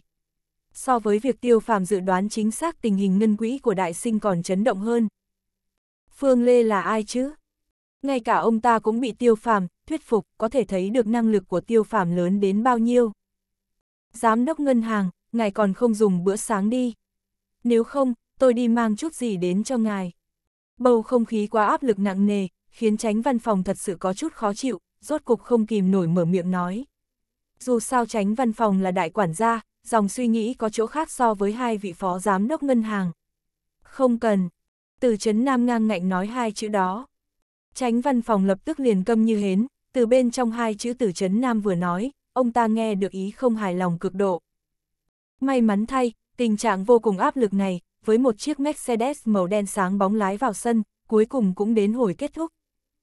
Vừa thấy vậy, từ chấn Nam lập tức tựa như tiêm thuốc tăng lực, hai mắt dạng dỡ hướng ra, lòng bàn chân giống như chứa đạn, chạy vội xuống bậc thang, phóng thẳng về phía chiếc Mercedes-Benz, giơ tay kéo cửa xe ra, bất chấp tất cả, cúi đầu xuống thật thấp cung kính. Xin chào tiêu trưởng phòng. Từ trong Mercedes-Benz xuống, quả nhiên là tiêu phàm, toàn thân mặc một bộ quần áo trắng toát, có vẻ cực kỳ trẻ tuổi, tràn đầy sức sống thanh xuân, vô cùng ăn khớp với hình tượng thế hệ thứ hai tinh anh mà mọi người thường thấy. Nhìn thấy tiêu phàm, hai vị phó giám đốc ngân hàng và tránh văn phòng đều giật mình kinh hãi. Đây là vị cứu tinh mà giám đốc ngân hàng chờ sao? Có phải là có chút quá trẻ không? Còn tưởng rằng chính là một vị trùm thương giới với áo mũ chỉnh tề, ưỡn ngực lồi bụng hoặc là một vị quan lớn chính phủ uy nghiêm vời vợi, nói năng thận trọng. Trước mắt dường như chỉ có hai loại người này, mới có thể xoay chuyển tình thế chủ ngân hàng đại sinh.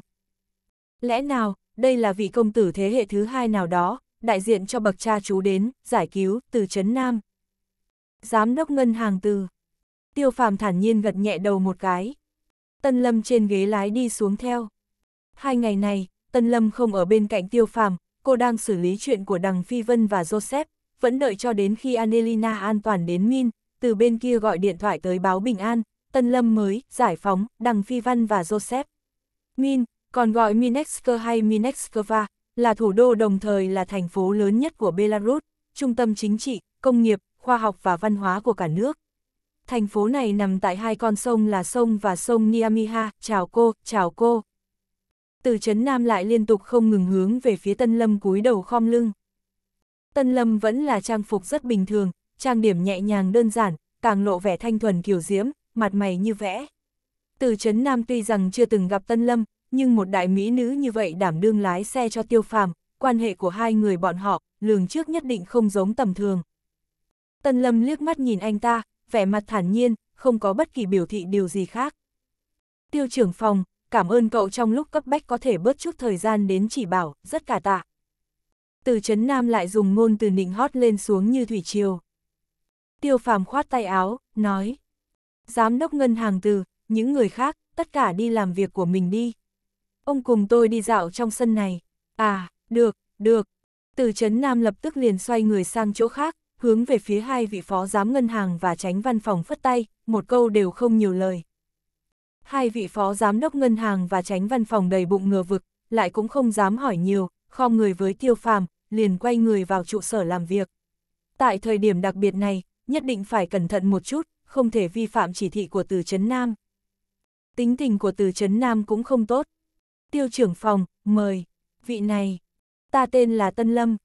Vâng, Tân Tiểu Thư, mời. Từ Trấn Nam liên tục khom lưng, giơ tay mời khách. Trụ sở chính của ngân hàng Đại Sinh là một tòa nhà độc lập gồm 18 tầng, chiếm diện tích lớn, bên ngoài cửa chính, có một quảng trường nhỏ, sau tòa nhà, có một hoa viên không nhỏ, trăm hoa khoe nở đua sắc, khung cảnh dễ chịu. Tiêu phàm dưới sự bồi cùng của từ Trấn Nam, chậm rãi vòng quanh trụ sở làm việc một vòng, lại trở lại cửa tòa nhà, đứng lại, nói. Giám đốc ngân hàng từ, cả tòa cao ốc bố cục phong thủy coi như cũng khá lắm. Vâng, tiêu trưởng phòng, trước khi chuyển đến, cũng mời tiên sinh xem qua đấy. Nơi này kiến thiết lại một chút, xây thêm cái suối phun nước đi. Hình oval, phải thêm hòn non bộ. Ông lập tức gọi người đi thiết kế bản vẽ, sau khi tôi xem xong thì lập tức khởi công, hoàn thành càng nhanh càng tốt. Cửa chính đối diện con đường chính, ngựa xe như nước, dòng chảy quá nhanh, bất lợi cho việc làm giàu. Tiêu phàm chỉ về phía quảng trường ở bên ngoài cửa chính, nói. Vàng tiền là khí lưu động, tương đối với toàn bộ tòa nhà mà nói, quảng trường này là không nhỏ, rộng mênh mông, không có bóng dâm nhỏ, khí vàng không thể che giấu, mau vào mau ra. Lúc trước vị tiên sinh kia đã không xem cho ông cẩn thận. Thì ra là thế. Từ chấn Nam bỗng nhiên bừng tỉnh, liên tục gật đầu. Tiêu trưởng phòng quả nhiên là cao nhân, tôi xem chừng, lúc trước vị tiên sinh kia không xem cẩn thận, trình độ của anh ta không đủ. Cũng chỉ có tiêu trưởng phòng cao nhân như vậy, mới là bậc thầy thực thụ. Ngay sau đó, từ chấn Nam liền vỗ vai tiêu phàm một cái. Đi thôi, đến xem văn phòng của ông. Tiêu phàm cười cười, nói. Vâng, vâng, tiêu trưởng phòng mời, tân tiểu thư mời. Audio điện tử võ tấn bền. chương 216, bọn bịp bợm giang hồ, hại không ít người. Về cơ bản, tất cả các nhân viên đã không còn tâm trạng làm việc, và tất cả mọi người đang khẽ bàn luận chủ đề duy nhất của cuộc thảo luận, ngân hàng đại sinh sẽ đi con đường nào. Gã trẻ tuổi bảnh bao mà giám đốc ngân hàng từ chờ đợi kia rốt cuộc là thần thánh phương nào. Từ Trấn Nam tự mình dẫn Tiêu Phàm và Tân Lâm thẳng lên lầu 18, đi hướng về phía văn phòng giám đốc ngân hàng. Tương đối mà nói, phòng làm việc của Từ Trấn Nam, khí phách còn kém xa văn phòng làm việc của cơ khinh xa, toàn bộ một tầng, tất cả biến thành một hoa viên không chung. Tiêu phàm cũng từng đến văn phòng làm việc của nhiều ông chủ lớn, cái hoa viên không chung kia của cơ khinh xa, vẫn là độc nhất vô nhị. Tuy nhiên, so với văn phòng của các ông chủ khác, văn phòng của giám đốc ngân hàng từ Trấn Nam cũng đủ lớn, chừng một hai trăm mét vuông. Diện tích này còn chưa tính đến phòng tắm, phòng khách và văn phòng của thư ký. Thư ký của từ Trấn Nam là một cô gái hai mươi mấy tuổi, dáng người quyến rũ, diện mạo xinh đẹp. Đây cũng là lệ thường rồi. Cô thư ký lúc nãy cũng đứng ở cửa đại sảnh cũng muốn đứng chờ cùng giám đốc ngân hàng từ, liền bị từ chấn Nam liếc mắt một cái đổi đi. Phó giám đốc ngân hàng và tránh văn phòng đều là nam giới, đứng cùng anh ta chờ tiêu phàm, đó được coi là sự tôn trọng. Bảo một cô gái xinh đẹp như vậy đứng chờ cùng, đúng là khoe khoang quá rồi. Lúc này khoe khoang trước mặt trưởng phòng tiêu không phải là thất lễ sao. Thấy từ Trấn Nam dẫn khách vào cửa, cô thư ký vội vàng mở cánh cửa vào căn phòng phía sau. Vừa vào cửa, đập vào mắt chính là một cái đỉnh đồng thật lớn. Nhìn qua, màu xanh đồng loang lổ, nghiễm như đồ cổ. Trong đỉnh đồng, có ngọn lửa hừng hực giấy lên, nhìn kỹ lại, chỉ là thông qua phương tiện công nghệ để tạo ảo giác, ẩn bên trong đỉnh đồng, không ngừng thông gió hướng lên trên, đem hàng chục lụa đỏ rung rinh phất phới lên, hơn nữa với một chút kỹ thuật chiếu sáng, giống như là một lò lửa cháy rừng rực. Nhìn thấy lò lửa này, tiêu phàm không khỏi hơi sững sờ. Nó thực sự là một cảnh tượng tiêu phàm chưa bao giờ từng thấy a trong văn phòng của bất cứ ai, xuất hiện một vật như vậy. Với con mắt của tiêu phàm, hắn có thể nhìn ra được, đỉnh đồng kia chẳng qua là đồ giả cổ, không phải một đồ cổ thực sự. Thấy thần thái của tiêu phàm, từ chấn nam vội vàng giải thích nói. Tiêu trưởng phòng, cái này, có vị tiên sinh nói, tôi ngũ hành thiếu hỏa, làm cho tôi làm cái lò lửa như vậy, sẽ thịnh vượng, ha ha. Vô nghĩa, tiêu phàm nhất thời vừa tức giận lại vừa buồn cười, không kìm nổi cũng phát ra câu, nói tục. Từ Chấn Nam ngay tức khắc liền ngây ngẩn cả người. Tiêu phàm lắc đầu khe khẽ. Bây giờ bọn bịp bợm giang hồ thật phổ biến, cái gì cũng dám nói nhảm, nói hưu nói vượn. Theo cái lắc đầu của tiêu phàm, tâm trạng từ Chấn Nam liền chìm xuống một chút. Có lẽ mình bị bọn bịp bợm giang hồ lừa rồi chăng? Cái đồ chơi này lập tức bỏ đi, ông ngũ hành thiếu hỏa, đó là sự thật, nhưng không phải dùng phương thức này để bù đắp, ông như vậy là mệnh kim, kim khí càng dồi dào càng tốt. Ngũ hành sinh khắc, hỏa năng khắc kim, ông muốn làm lớn như vậy, đặt một lò lửa ở phòng làm việc của mình, là ngại nhiều tiền sao. Từ chấn Nam liền toát mồ hôi lạnh, vội gật đầu không ngừng tỏ sự đồng ý, lập tức liền ra lệnh cho cô thư ký. Mau, gọi mấy người đến, đem cái đồ chơi này chuyển đi, nhanh lên, nhanh lên chút. Cô thư ký liên thanh trả lời, vội vàng hấp tấp chạy ra ngoài gọi điện liên hệ. Trong đầu lại âm thầm kinh ngạc, hóa ra anh chàng này không những đẹp trai, không ngờ cũng là vị đại sư. Nhưng là thế nào từ Trấn Nam lại xưng hô hắn là tiêu trưởng phòng? Chẳng lẽ bây giờ coi bói, đều có chức vụ hành chính? Giám đốc ngân hàng từ, ngũ hành thiếu hỏa, có thể đem chữ Nam trong tên của ông thêm hỏa bên cạnh, kêu từ Trấn. Âm đọc có thể không thay đổi, vẫn là tiếng thứ hai, không đọc tiếng thứ ba. a à, vâng vâng, tôi lập tức đi xin cải tên trong hộ tịch. Lúc này, với mỗi một câu của tiêu phàm, từ chấn đều tôn thờ, tuyệt đối không dám vi phạm. Chỉ cần có thể cứu được ngân hàng đại sinh, không cần nói sửa cái tên, nam, cho dù bảo ông ta đem bỏ hết toàn bộ tên, đó cũng là cam tâm tình nguyện, không một chút nhíu mày nghĩ ngợi. Tiêu phàm ánh mắt xoáy một vòng, hai hàng lông mày lại cao lại, quay đầu hướng từ chấn nói. Giám đốc ngân hàng từ, trước khi trang trí văn phòng này, ông mời vị tiên sinh kia xem qua sao. Từ chấn vội vàng nói. Xem qua, xem qua đấy, vừa rồi cái đỉnh đồng kia chính là y nói muốn đặt ở đó. Tiêu phàm nhíu mi hỏi. Vị tiên sinh xem bố cục văn phòng này, và vị tiên sinh xem phong thủy nền đất không phải là một người đúng không? Không phải, lầu này là tôi mua lại đấy, bố cục chỉnh thể trên cơ bản không có sửa đổi. Ừ, vị tiên sinh xem phong thủy đất này, trình độ không tồi. Nhưng vị tiên sinh làm bố cục văn phòng này cho ông, cơ bản là tên bịp bợm, ngay cả cửa cũng chưa vào, chỉ biết nói hưu nói vượn. Bàn ghế làm việc của ông đang được đặt dưới xà ngang, mặc dù đã làm một trần, linh hồn ma quỷ suy yếu rất nhiều, nhưng vẫn còn là một vấn đề lớn. Xà ngang áp đỉnh, rủi ro, vận xui, đặt ngay trên đỉnh đầu của giám đốc ngân hàng từ là bố cục phong thủy tối kỵ. Bọn bịp bợm giang hồ, quá hại người. Tiêu phàm nhẹ nhàng lắc đầu. Trong những năm qua, thuật kham dư phong thủy hành nghề phổ biến và hầu hết các doanh nhân tin tưởng vào những giáo lý đó. Tuy nhiên, những lý thuyết về phong thủy, lý luận thâm thúy, sâu và rộng, không phải người bình thường nào cũng có thể tinh thông. Thị trường hưng thịnh, ngay tức khắc xuất hiện kẻ cặn bã, vàng thau lẫn lộn. Nhiều biểu ngữ bịp bợm của bậc thầy phong thủy, rêu rao khắp nơi gây sự chú ý. Người ngoài ngành thuần túy như từ chấn, làm sao có thể nhận biết được thật giả. Đột nhiên trên trán đều sáng long lanh, mồ hôi chi chít rỉ ra. Nếu không phải đang ở trước mặt tiêu phàm, giám đốc ngân hàng từ thật sự sẽ chửi ầm lên rồi. Bọn bịp bợm giang hồ này đã đẩy từ Trần Y vào bể khổ. Gian phòng này của từ Trần quá lớn, Hoành Lương chính vừa khéo nằm ở trên trục trung tâm của văn phòng. Theo trường phái phong thủy trong nước, trên phòng làm việc và kiến trúc học, đều chú ý trời tròn đất vuông, hai phía đối xứng. Cái người gọi là tiên sinh phong thủy kia để từ chấn đặt vị trí làm việc ở giữa văn phòng, đối xứng thì đúng là đối xứng rồi, nhưng lại hoàn toàn ở dưới sàng ngang, phạm vào một điều cấm ký rất lớn trong bố trí bố cục phong thủy. Giám đốc ngân hàng từ, bố cục văn phòng này, nhất định phải điều chỉnh một lần nữa, lấy giấy bút lại đây. a à, dạ dạ. Từ chấn gần như chạy lon ton đi đến trước bàn của mình, nhặt một chồng giấy văn phòng và bút Parker ngòi vàng rất đẹp, lại vội vội vàng vàng chạy lại, hai tay đưa đến trước mặt tiêu phàm, vẻ mặt khâm phục cùng kính trọng và ngưỡng mộ. Tiêu phàm tùy tay vẽ một mô hình đơn giản trên giấy, ghi chú đánh dấu trọng tâm, rồi đưa lại cho tử chấn. tử chấn tuy rằng không hiểu thuyết phong thủy, nhưng nhìn hình vẽ rõ ràng như vậy, lại cung kính nhận lấy, lại một lần nữa sóng lòng nổi lên. Lúc này, cửa vang lên một hồi tiếng bước chân rồn rập, một vài nhân viên đến, cô thư ký lệnh rằng bằng cách nào đó họ sẽ phải đem cái đỉnh đồng lớn ra ngoài. Đỉnh đồng lớn này đặt trên mặt thảm, toàn bộ di chuyển đi, không ảnh hưởng đến bố cục khác trong văn phòng. Ơ kìa, mang thứ này đi, quả nhiên chỗ này trước mắt liền trống trải hơn, tiêu trưởng phòng, tôi lập tức dựa theo ý kiến của cậu, đem văn phòng sửa chữa một chút, tên tôi cũng ngay lập tức đi thay đổi hộ tịch. Tiêu phàm gật gật đầu. Từ chấn ngẫm nghĩ một chút, lại hỏi han thăm dò. Tiêu trưởng phòng, chuyện này, có phải sau khi đem mấy thứ này sửa đổi, tôi, vận mệnh của tôi sẽ lại được vượng dậy? Không thể nào. Tiêu phàm thản nhiên đáp. Từ chấn lập tức lại ngây ngẩn cả người, sắc mặt lập tức trở nên cực kỳ phấn khích. Nhất thiếu, cậu đang trêu chọc tôi phải không? Không thể sửa vận mệnh, bảo tôi làm như thế để làm chi?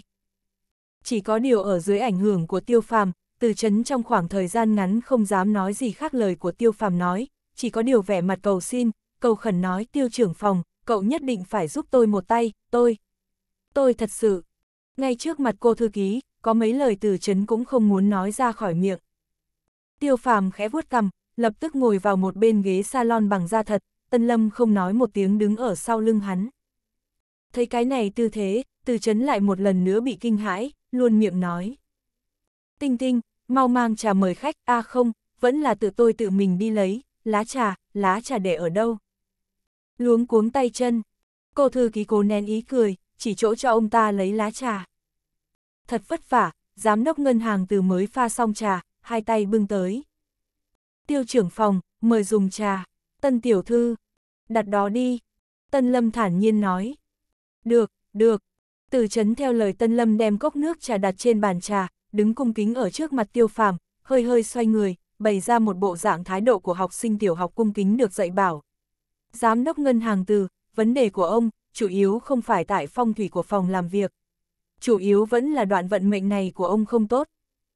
Dựa theo miêu tả của vô cực cửu tương thiên, kiếp khổ tương, theo tiêu phàm, lúc này từ chấn đang phải trải qua một ngưỡng lớn nhất trong đời ông ta, cũng là vận rủi, điển hình. Giám đốc ngân hàng từ, đuôi lông mày ông tán loạn, dựng thẳng, nhọn, sát khí thật mạnh, đây là rủi ro đại kiếp nạn. Bọn bịp bợm giang hồ chỉ cho ông bài bố bố cục văn phòng lung tung, chỉ là làm tăng thêm mức độ nghiêm trọng của vận rủi này.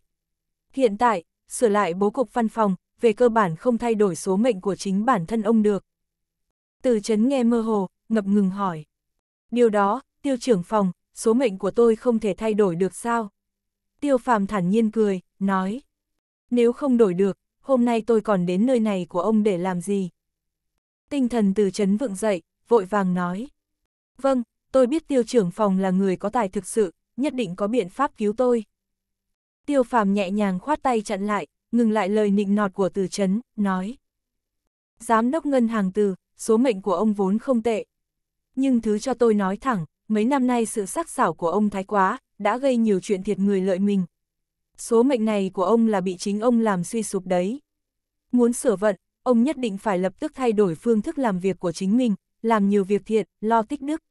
Nếu vẫn sống như trước, e rằng không có cách nào giúp được ông.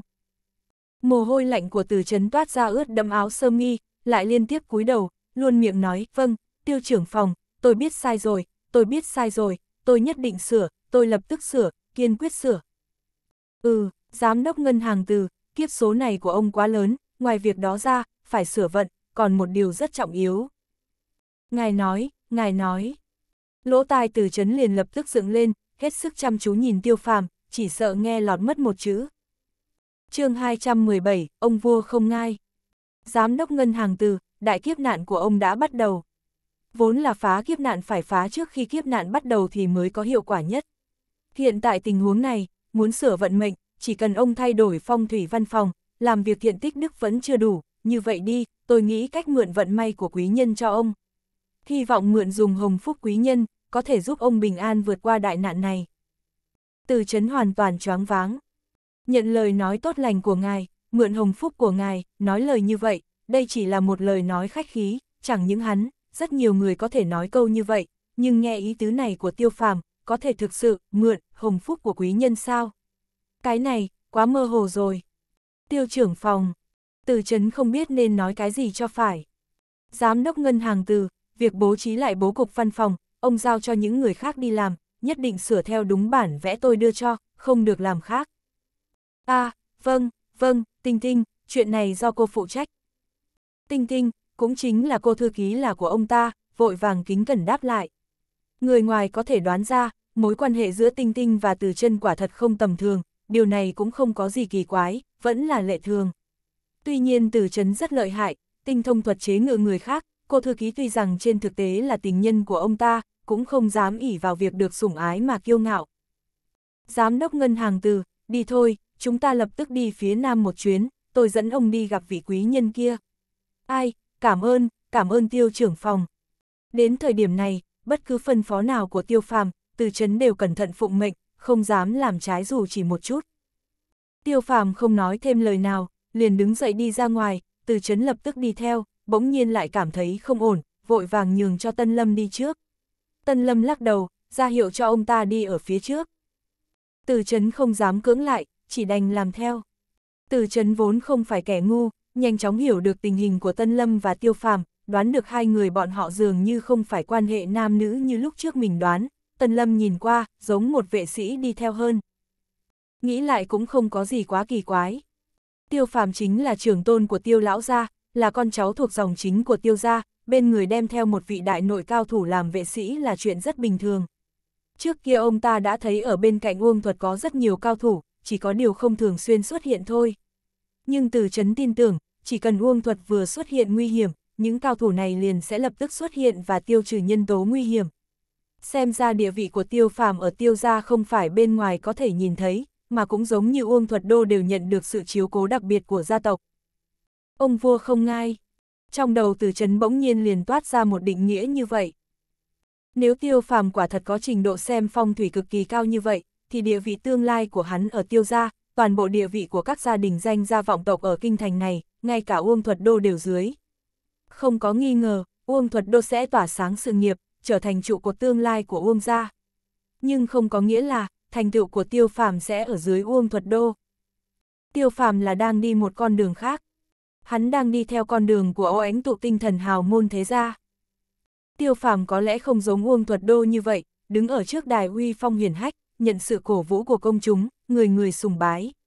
Nhưng lực ảnh hưởng hắn có thể phát huy lại là người ngoài khó có thể tưởng tượng được. Ví dụ như lần này, nếu tiêu phàm thực giúp ông ta sửa vận thành công, như vậy từ nay về sau ông ta từ chấn chính là một người tùy tùng một mực trung thành dưới trướng của tiêu phàm, tiêu phàm chỉ đến đâu ông ta liền đánh tới đó, tuyệt không có nửa điểm cầu thả. Đây là sự tình không có lựa chọn khác.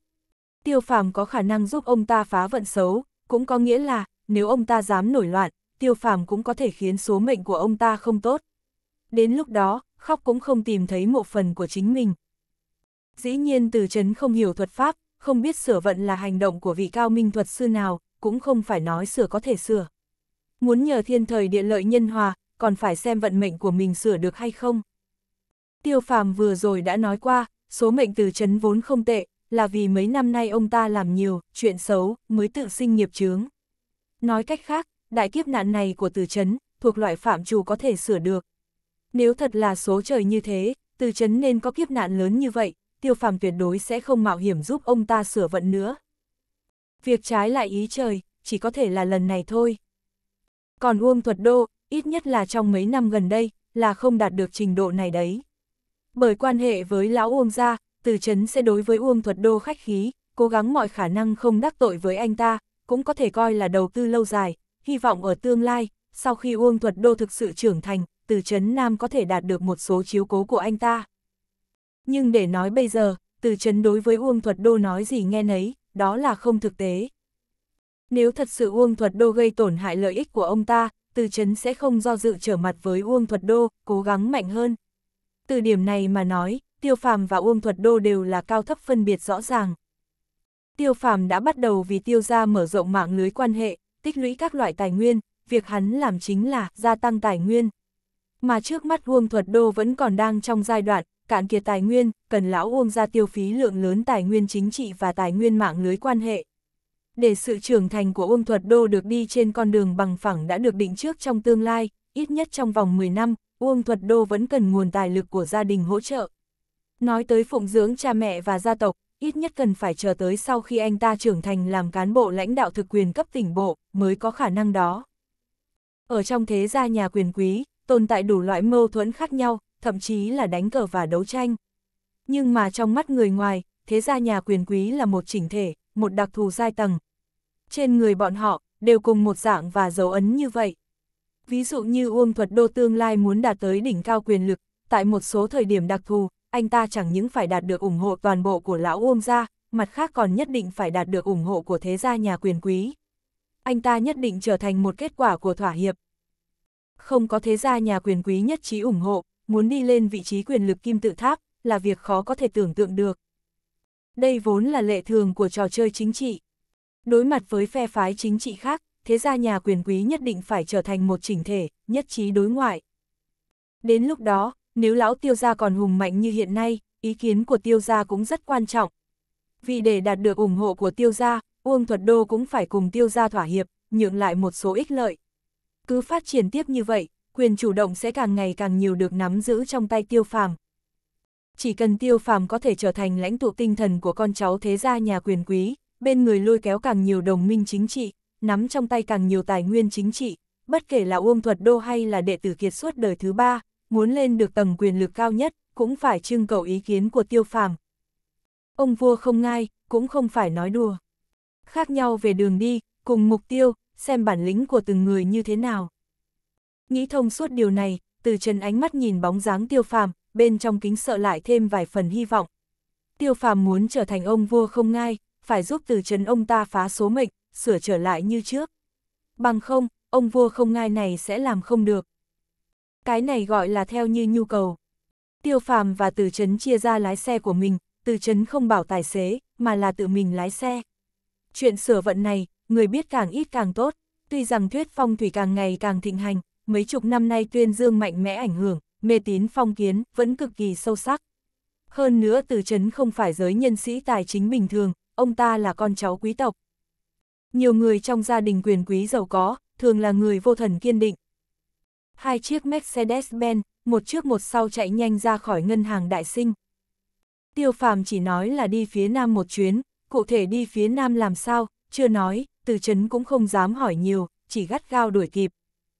Mercedes-Benz vừa mới chạy ra khỏi ngân hàng không lâu, từ chấn liền ở trong xe nhận được điện thoại của Nhiêu Ngọc Sinh, nghe ra được, tâm tình của Nhiêu Ngọc Sinh cũng không được khá lắm. Trấn Nam, chuyện này hơi phiền toái. Hiện tại rất nhiều người đều chạy đến chỗ tôi hỏi tin tức, không ít người trực tiếp đưa ra yêu cầu trả lại tiền. Từ chấn cười khổ nói. Thật là tường đổ mọi người còn đẩy thêm. Nhiêu Ngọc Sinh là đại cổ đông của ngân hàng đại sinh, nhưng tiền của mình cũng không tất cả là của riêng mình, rất nhiều bạn bè và những người quen biết đều hướng về tập đoàn và thương hiệu tập đoàn, để tiền ở chỗ Nhiêu Ngọc Sinh, mời ông ta vận tác. Hiện giờ ngân hàng đại sinh gặp chuyện không may, các tiểu cổ đông đều tự nhiên nóng mắt lo lắng. Mấy năm nay, các ngân hàng lớn sụp đổ cũng không phải là tin tức gì mới. Ngân hàng đại sinh nếu thực suy sụp, không biết sẽ có bao nhiêu cổ đông cỡ chung và nhỏ phải, treo cổ tự sát hoặc là đi trốn nợ. Trấn Nam, chuyện này không thể trách người ta, tiền không phải là gió thổi tới, việc này, khẩn trương nghĩ biện pháp.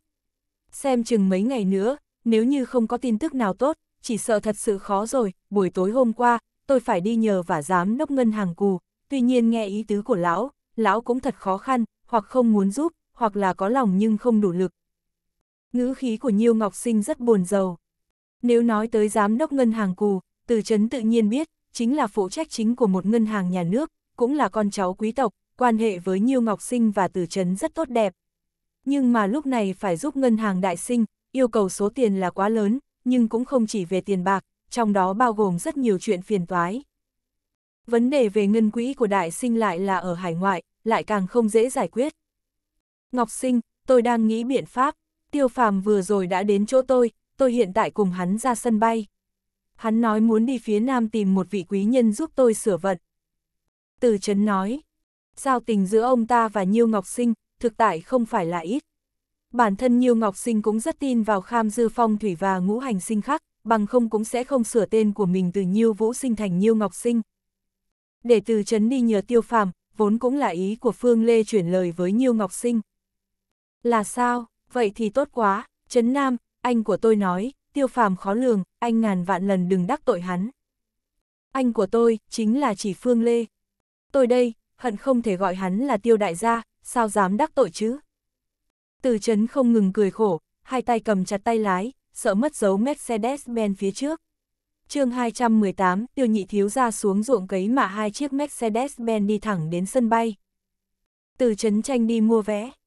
Tiêu trưởng phòng, đi thành phố nào? Tam Giang. Tam Giang là thủ phủ của tỉnh Giang Hán. Ồ, vâng, vâng. Tự mình đến chỗ bán vé của sân bay mua vé, đối với từ chấn mà nói, đã là chuyện cực kỳ lâu trước kia rồi, bình thường muốn đi đâu, đều là thư ký đã sớm đặt xong vé máy bay, đem hết thảy mọi việc đều xử lý thỏa đáng, từ chấn chỉ cần đúng giờ ra sân bay là được. May mà bây giờ không phải là mùa đắt khách, vé máy bay tới Tam Giang còn nhiều, từ chấn mua được ba cái vé khoang máy bay thương vụ. Một giờ sau, chiếc máy bay phản lực lớn chở khách xuyên thẳng trời xanh. Đến sân bay Tam Giang, đã có trước một chiếc xe Mercedes-Benz xa hoa ở phi trường chờ đón. Mạng lưới quan hệ của từ trấn vốn rất rộng, tạm thời ở Tam Giang Ngân hàng Đại sinh chưa mở chi nhánh, nhưng cũng không khó cho từ chân mượn xe. Lái chiếc Mercedes-Benz xa hoa đến sân bay đón tiếp là một nam thanh niên 27-28 tuổi, bất ngờ chính là, đúng là một trong bạn hữu của Tiêu Thiên, công tử Dương Thạch của Phó Bí Thư Dương, tỉnh Giang Nam. Dương Thạch thường chạy tới thủ đô gặp bằng hữu từ chân ở trong hội, cũng có chút danh tiếng, Dương Thạch và ông ta quen biết. Giám đốc ngân hàng từ đến Tam Giang, mượn Dương Thiếu ra xe để sử dụng, Dương Thạch hiển nhiên sẽ không đắn đo. Giám đốc ngân hàng từ, xin chào. Ba người tiêu phàm vừa bước xuống, Dương Thạch lập tức cười tiếp đón, vẻ mặt tươi cười, trong mắt cực kỳ nhanh hiện lên một chút vẻ kinh ngạc. Từ chấn đi ở phía sau tiêu phàm. Cha của Dương Thạch làm quan ở tỉnh ủy, đối với một số quy tắc quan trường và giữa các gia đình quyền quý, Dương Thạch hiểu rất rõ ràng. Hành động này của từ chấn, tuyệt đối chỉ có một ý nghĩa, đó là thân phận địa vị của tiêu phàm ở bên trên từ chấn. Tiêu phàm lại là trẻ tuổi như vậy, không thể nào là lãnh đạo lớn trong quan trường, chỉ có thể là con nhà quyền quý ở Kinh Thành. Thật ra Dương Thạch đã gặp qua tiêu phàm, tuy nhiên lần đó Dương Thạch thấy chính là lúc giả dạng thành hình đại sư và lâm thư ký xinh đẹp, chứ không phải tiêu lão đại phong lưu phóng khoáng hơn người và tân lâm thuần khiết xinh đẹp tuyệt trần, thâm sơn cùng cốc. Dương Thiếu Gia, xin chào, xin chào, tiêu trưởng phòng, vị này là chính là Dương Thiếu Gia Dương Thạch, cha cậu ta là bí thư Dương tỉnh Giang Hán, Dương Thiếu Gia, vị này chính là... Không đợi từ Trấn Nam giới thiệu xong, tiêu phàm liền hướng Dương Thạch đưa tay ra cười, nhẹ giọng nói. Xin chào Dương Thiếu Gia, tôi là tiêu phàm, thường xuyên nghe đệ của tôi nói tới việc các ngươi là bạn tốt. Tiêu phàm, tiêu lão đại. Dương Thạch kinh ngạc, không ngừng cầm tay tiêu phàm, liên tục bắt tay, vẻ mặt không tin. Quãng thời gian gần đây, tiếng tăm tiêu lão đại trong hội con cháu nhà quyền quý ở thủ đô chấn động, Diệp Đại, Uông Nhị, Uông Tam đều là đại ca trong đám con ông cháu cha liên tiếp bị kinh hãi trong tay tiêu lão đại, mặt xám mày cho, chật vật không chịu nổi. Một vị, lão đại, con ông cháu cha mới xuất hiện ở thành tứ cửu. Dương Thạch và Tiêu Thiên là bạn thân, hâm mộ tiếng tăm của Tiêu Phàm đã lâu, chỉ có điều chưa từng gặp mặt. Hiện giờ Tiêu lão đại trong truyền thuyết chợt giáng lâm ở trước mắt cậu ta, Dương Thạch tự nhiên vừa thấy là niềm vui bất ngờ, lại cũng cảm thấy thân thiết. Cậu ta là người của Tiêu gia đấy. Bố cậu ta phó bí thư Dương, là người phát ngôn của Tiêu gia ở Giang Hán, lão Tiêu gia là người tài giỏi dám nghĩ dám làm. Tiêu Phàm vỗ vỗ bả vai của Dương Thạch. Nhất ca, chuyện này quá vui mừng, giám đốc ngân hàng từ không nói là anh đến cùng ông ấy. Thật là, anh xem, anh xem, em một chút cũng không có sự chuẩn bị, thất lễ quá. Thật sự là quá thất lễ. Dương Thạch rất kích động nói. Tiêu phàm mỉm cười nói. Dương Thạch, người một nhà mà, cậu tự mình đến sân bay đón, còn muốn chuẩn bị cái gì nữa đây? Tiêu phàm và Dương Thạch quen biết khiến từ trấn an tâm, ông ta chỉ sợ tiêu phàm không muốn để cho người khác biết được hành tung của mình. Tiêu lão đại, vị này chính là... Dương Thạch và Tiêu Phàm hàn huyên một hồi, lại hướng về phía Tân Lâm, khách khí hỏi han. Tân Lâm thản nhiên đáp. Tôi tên Tân Lâm. Cứ như vậy bốn chữ vô cùng đơn giản, bất luận một chữ cũng không dư thừa. Trong lòng Dương Thạch thấy nghi hoặc, lại cũng không dám chậm trễ, vội vàng lại cùng Tân Lâm bắt tay, nhất thanh chào hỏi. Cô bé này thật xinh đẹp, lại ở bên cạnh Tiêu Phàm, đương nhiên cũng là nhân vật đặc biệt quan trọng, nói không chừng chính là phu nhân tương lai của tiêu gia. Lão đại, tân tiểu thư, giám đốc ngân hàng từ, qua đây, trước tiên chúng ta cùng ăn một bữa cơm, mời mấy vị dùng cơm tẩy trần. Sau đó tất thảy nghe theo sự sắp đặt của lão đại. Dương Thạch nhiệt tình như nước sôi, hơn nữa trước lão đại và tân tiểu thư, ở phía sau giám đốc ngân hàng từ, xương hô sắp xếp cẩn thận tỉ mỉ. Con cháu gia đình quan lại, ở những phương diện này phải đặc biệt chú ý. Tiêu phàm cũng không cự tuyệt. Hiện tại cũng tới giờ ăn cơm rồi. Mặc dù không biết tiêu phàm và từ chấn cùng đi, Dương Thạch vẫn nhất định sắp xếp chu đáo. Dù cho là từ chấn, cũng là nhân vật cần đối đãi tốt, nếu tới Tam Giang, cậu ta là chủ nhà, tự phải long trọng tiếp đãi.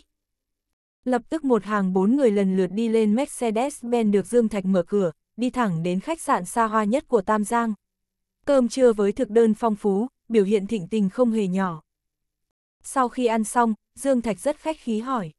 Lão đại, tân tiểu thư, giám đốc ngân hàng từ, đại giá Quang Lâm Tam Giang, có gì cần tôi cống hiến sức lực không? Trong giọng nói, hơi có chút tò mò.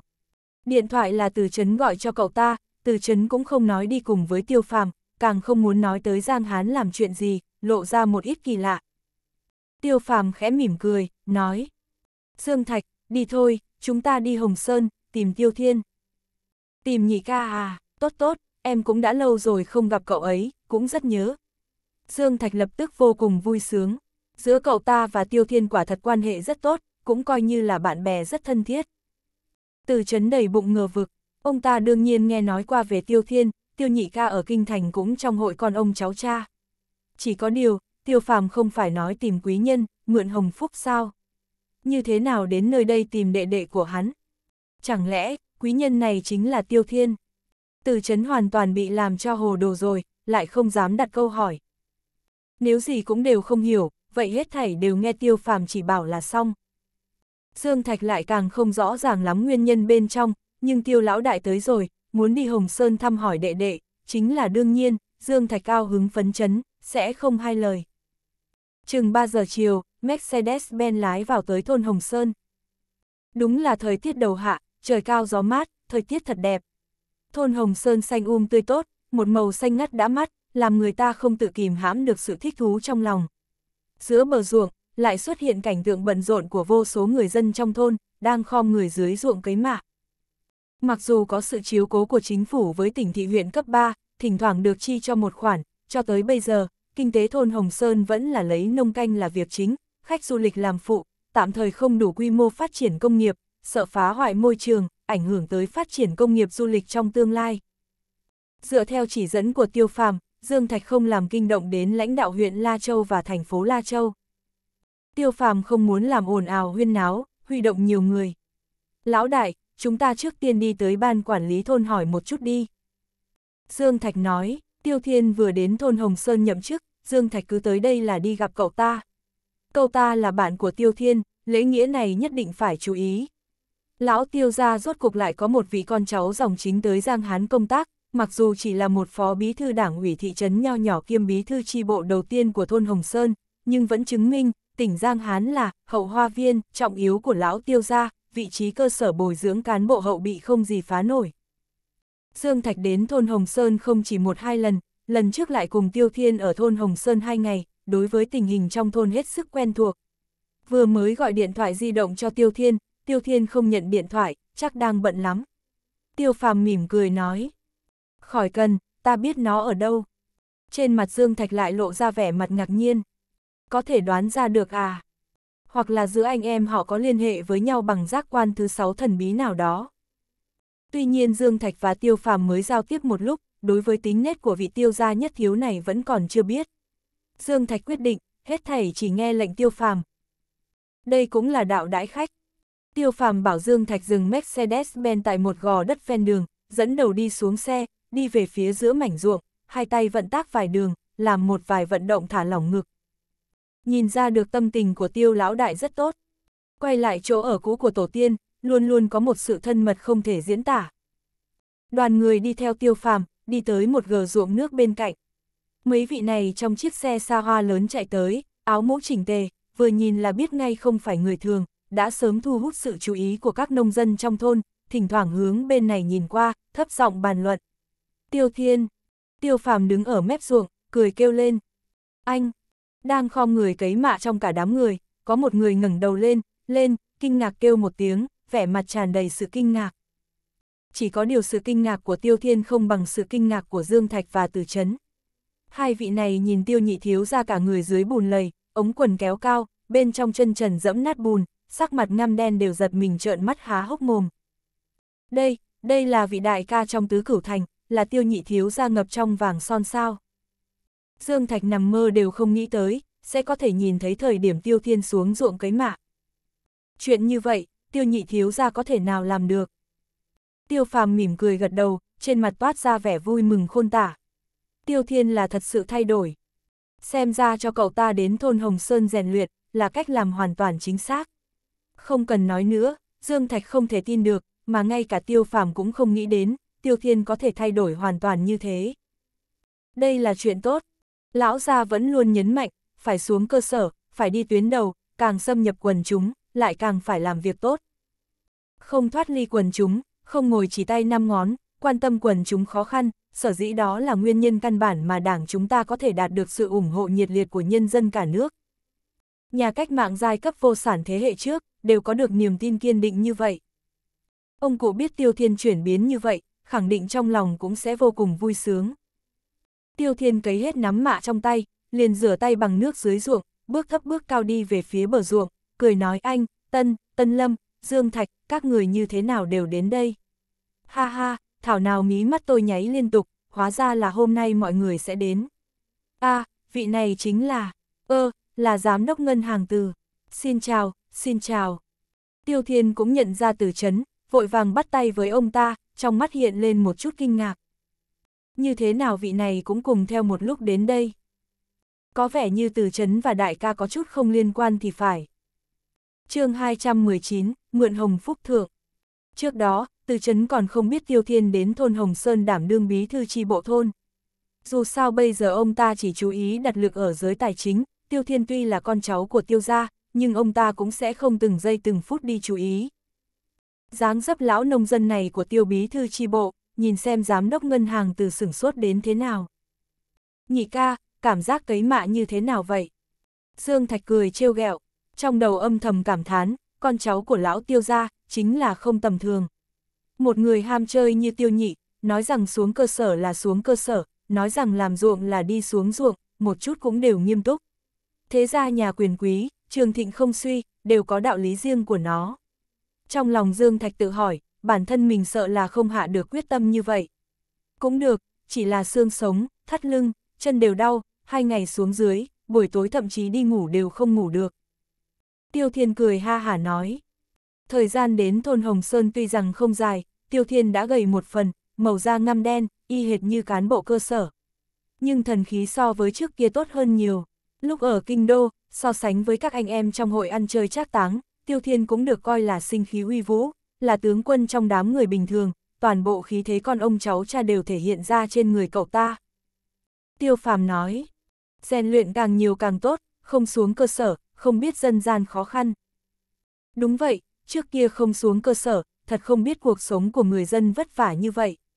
Hồng Sơn thôn có thể coi là rất tốt, thu nhập của nông dân trong thôn tương đối cao, những địa phương khác, điều kiện gian khổ hơn. Đúng rồi, anh, mọi người hôm nay lại đây, là đặc biệt đến thăm tôi, hay là đi ngang qua? Tiêu phàm mỉm cười nói. Đúng là đặc biệt đến thăm em đấy. Thật tốt quá, đi, đi chi bộ.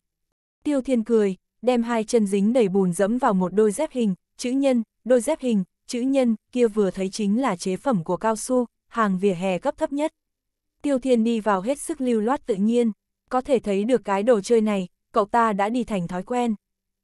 Tòa nhà ban quản lý và đảng bộ thôn Hồng Sơn cũng xem là không tệ, tòa nhà nhỏ 3 tầng mới xây 2 năm trước, có đầy đủ các phòng ban, ví dụ như phòng tổ chức hoạt động cho nhân dân trong thôn, phòng họp. Đương nhiên, đây là ngân sách bên trên cấp cho.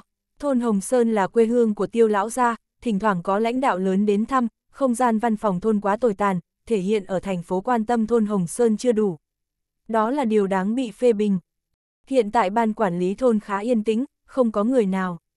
Tiêu Thiên giải thích, trong khoảng thời gian này là sản xuất vụ xuân, tất cả mọi người khá bận bịu. Đảng bộ và ban quản lý thôn tổ chức hội nghị bàn bạc, đều là vào buổi tối.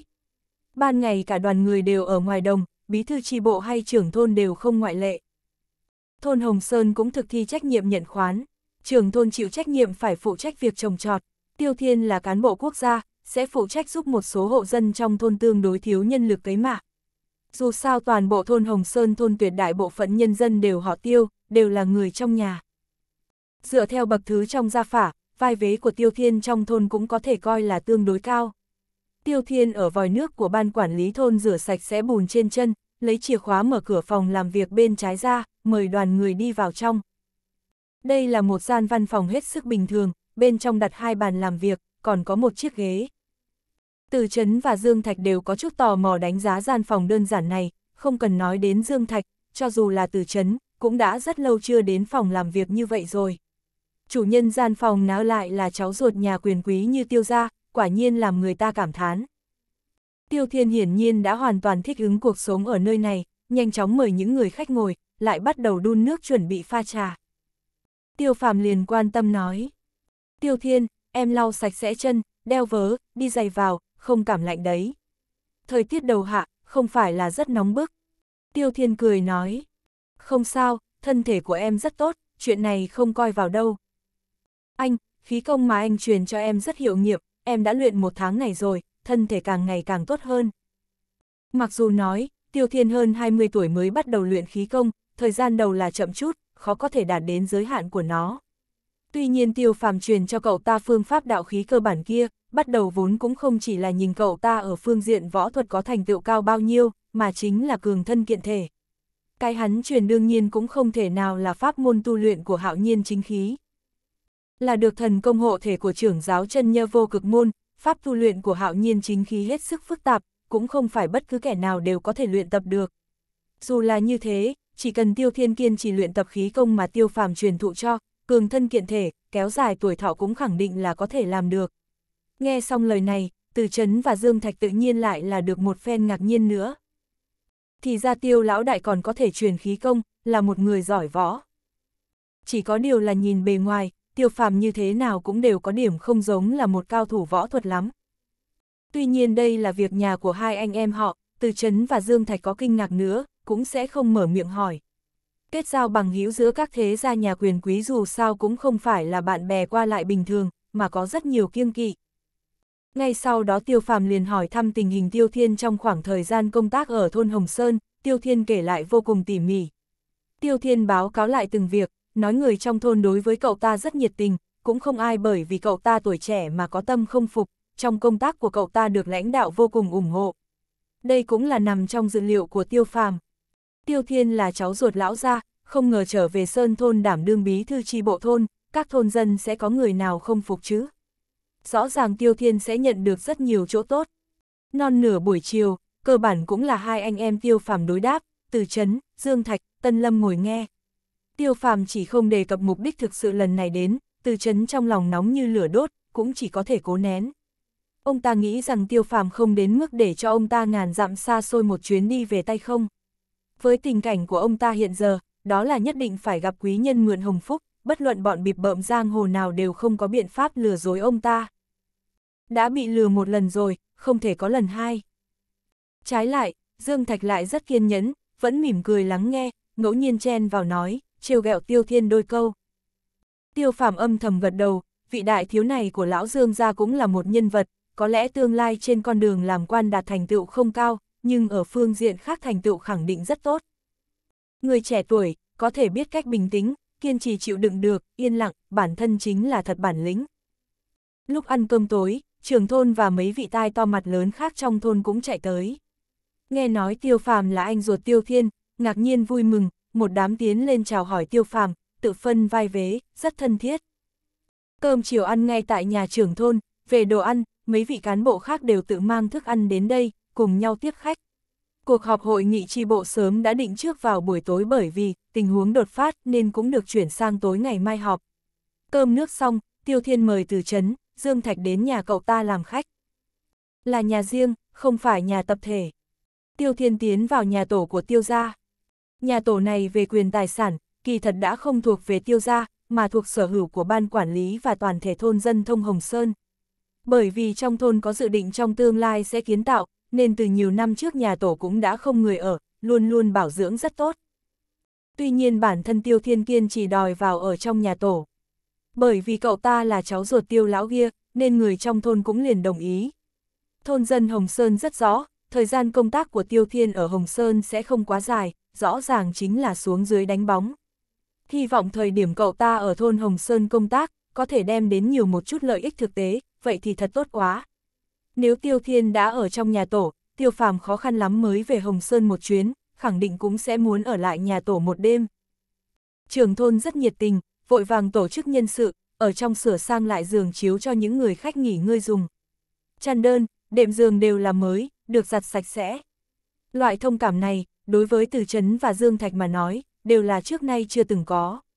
Cũng là điều mới mẻ thú vị. Nhất là Từ Trấn, vừa vào trước cửa nhà điện thờ tổ liền quỳ xuống, cung kính dập đầu ba cái. Trên điện thờ nhà tổ chính, còn thờ phụng cha mẹ của tiêu lão gia tử, cũng chính là ảnh chụp của Tam Thái Công Tam Thái Bà. Đây kỳ thật chính là vị trí thần chủ. Từ chấn thành kính như thế, khiến Dương Thạch và Tiêu Thiên không ngờ. Nhưng song thân của lão gia tử không cần nói trên trời có linh thiêng hay không, cho dù là hiện giờ còn khỏe mạnh, từ chấn vẫn quỳ lại. Nhà tổ tiêu ra nhiều buồng, trong phòng ngủ của Tiêu Thiên, một luồng ánh đèn nhàn nhạt xuyên từ cửa sổ bằng gỗ chiếu ra ngoài, bên ngoài phòng là hồ sưng, vang lên một tràng tiếng ếch nhái kêu. Anh em tiêu phàm tiêu thiên nghiêng người dựa vào bàn học, ngồi đối diện nhau. Tân Lâm vẫn im lặng đứng ở sau lưng tiêu phàm, đối mặt với tiêu thiên. Cô thật sự rất an tính, có đôi khi tiêu thiên thậm chí đã phớt lờ sự hiện hữu của cô, đây thực là một loại cảm giác kỳ lạ. Anh, có gì chuyện quan trọng sao? Có phải liên quan đến từ Trấn Nam? Tiêu Thiên trực tiếp hỏi, hai mắt nhấp nháy. Không hề nghi ngờ, Dương Thạch chính là, phu xe, từ Trấn mới là chính chủ. Trước đó, từ Trấn và huynh đệ tiêu gia cũng không qua lại thân thiết, sơ giao thôi. Tiêu phàm tuyệt sẽ không vô duyên vô cớ dẫn theo từ Trấn chạy đến thôn Hồng Sơn chỉ để dập đầu trước tổ tông tiêu gia. Đúng, có liên quan đến từ Trấn, nhưng cũng có liên quan đến em. Có liên quan tới em sao? Tiêu Thiên rất kinh ngạc dương lông mày lên. Ừ, Tiêu phàm liền qua loa đem chuyện đã trải qua nói một lần. Lợi hại như vậy, xem ra từ Trấn lúc này gặp phải phiền toái không nhỏ. Tiêu Thiên không khỏi chu mồm thẻ lưỡi, chật chật nói, lập tức lại rất không minh bạch hỏi han. Nhưng việc này, em cũng không giúp được a. Tiêu phàm mỉm cười nói. Em giúp được đấy, hơn nữa em là nhân vật rất mấu chốt. Từ chấn lần này gặp phải là kiếp nạn, không phải từ kiếp. Loại kiếp nạn này có thể hóa giải. Anh đã bảo từ chấn sửa lại bố cục phong thủy trong văn phòng của ông ta, nhưng chỉ vẻn vẹn như vậy vẫn chưa đủ. Căn cứ vào tướng mệnh của từ chấn, ông ta muốn tránh thoát một kiếp này, nhất định phải tìm người đại quý để mượn hồng phúc. Định mệnh đã xác định em chính là đại quý nhân của ông ta. Em sao? Lúc này, Tiêu Thiên thật sự ngây ngốc, há to miệng, thật lâu sau mới cười khổ một tiếng. Anh, anh chớ chiều em, em là quý nhân cái gì chứ? Hiện tại cũng thành lớp người quê mùa một cục, anh xem bản sách này, giường này, giống nơi của một quý nhân ở sao. Ông ta muốn mượn hồng phúc của em, em còn không biết phải đi gặp ai để mượn hồng phúc đây.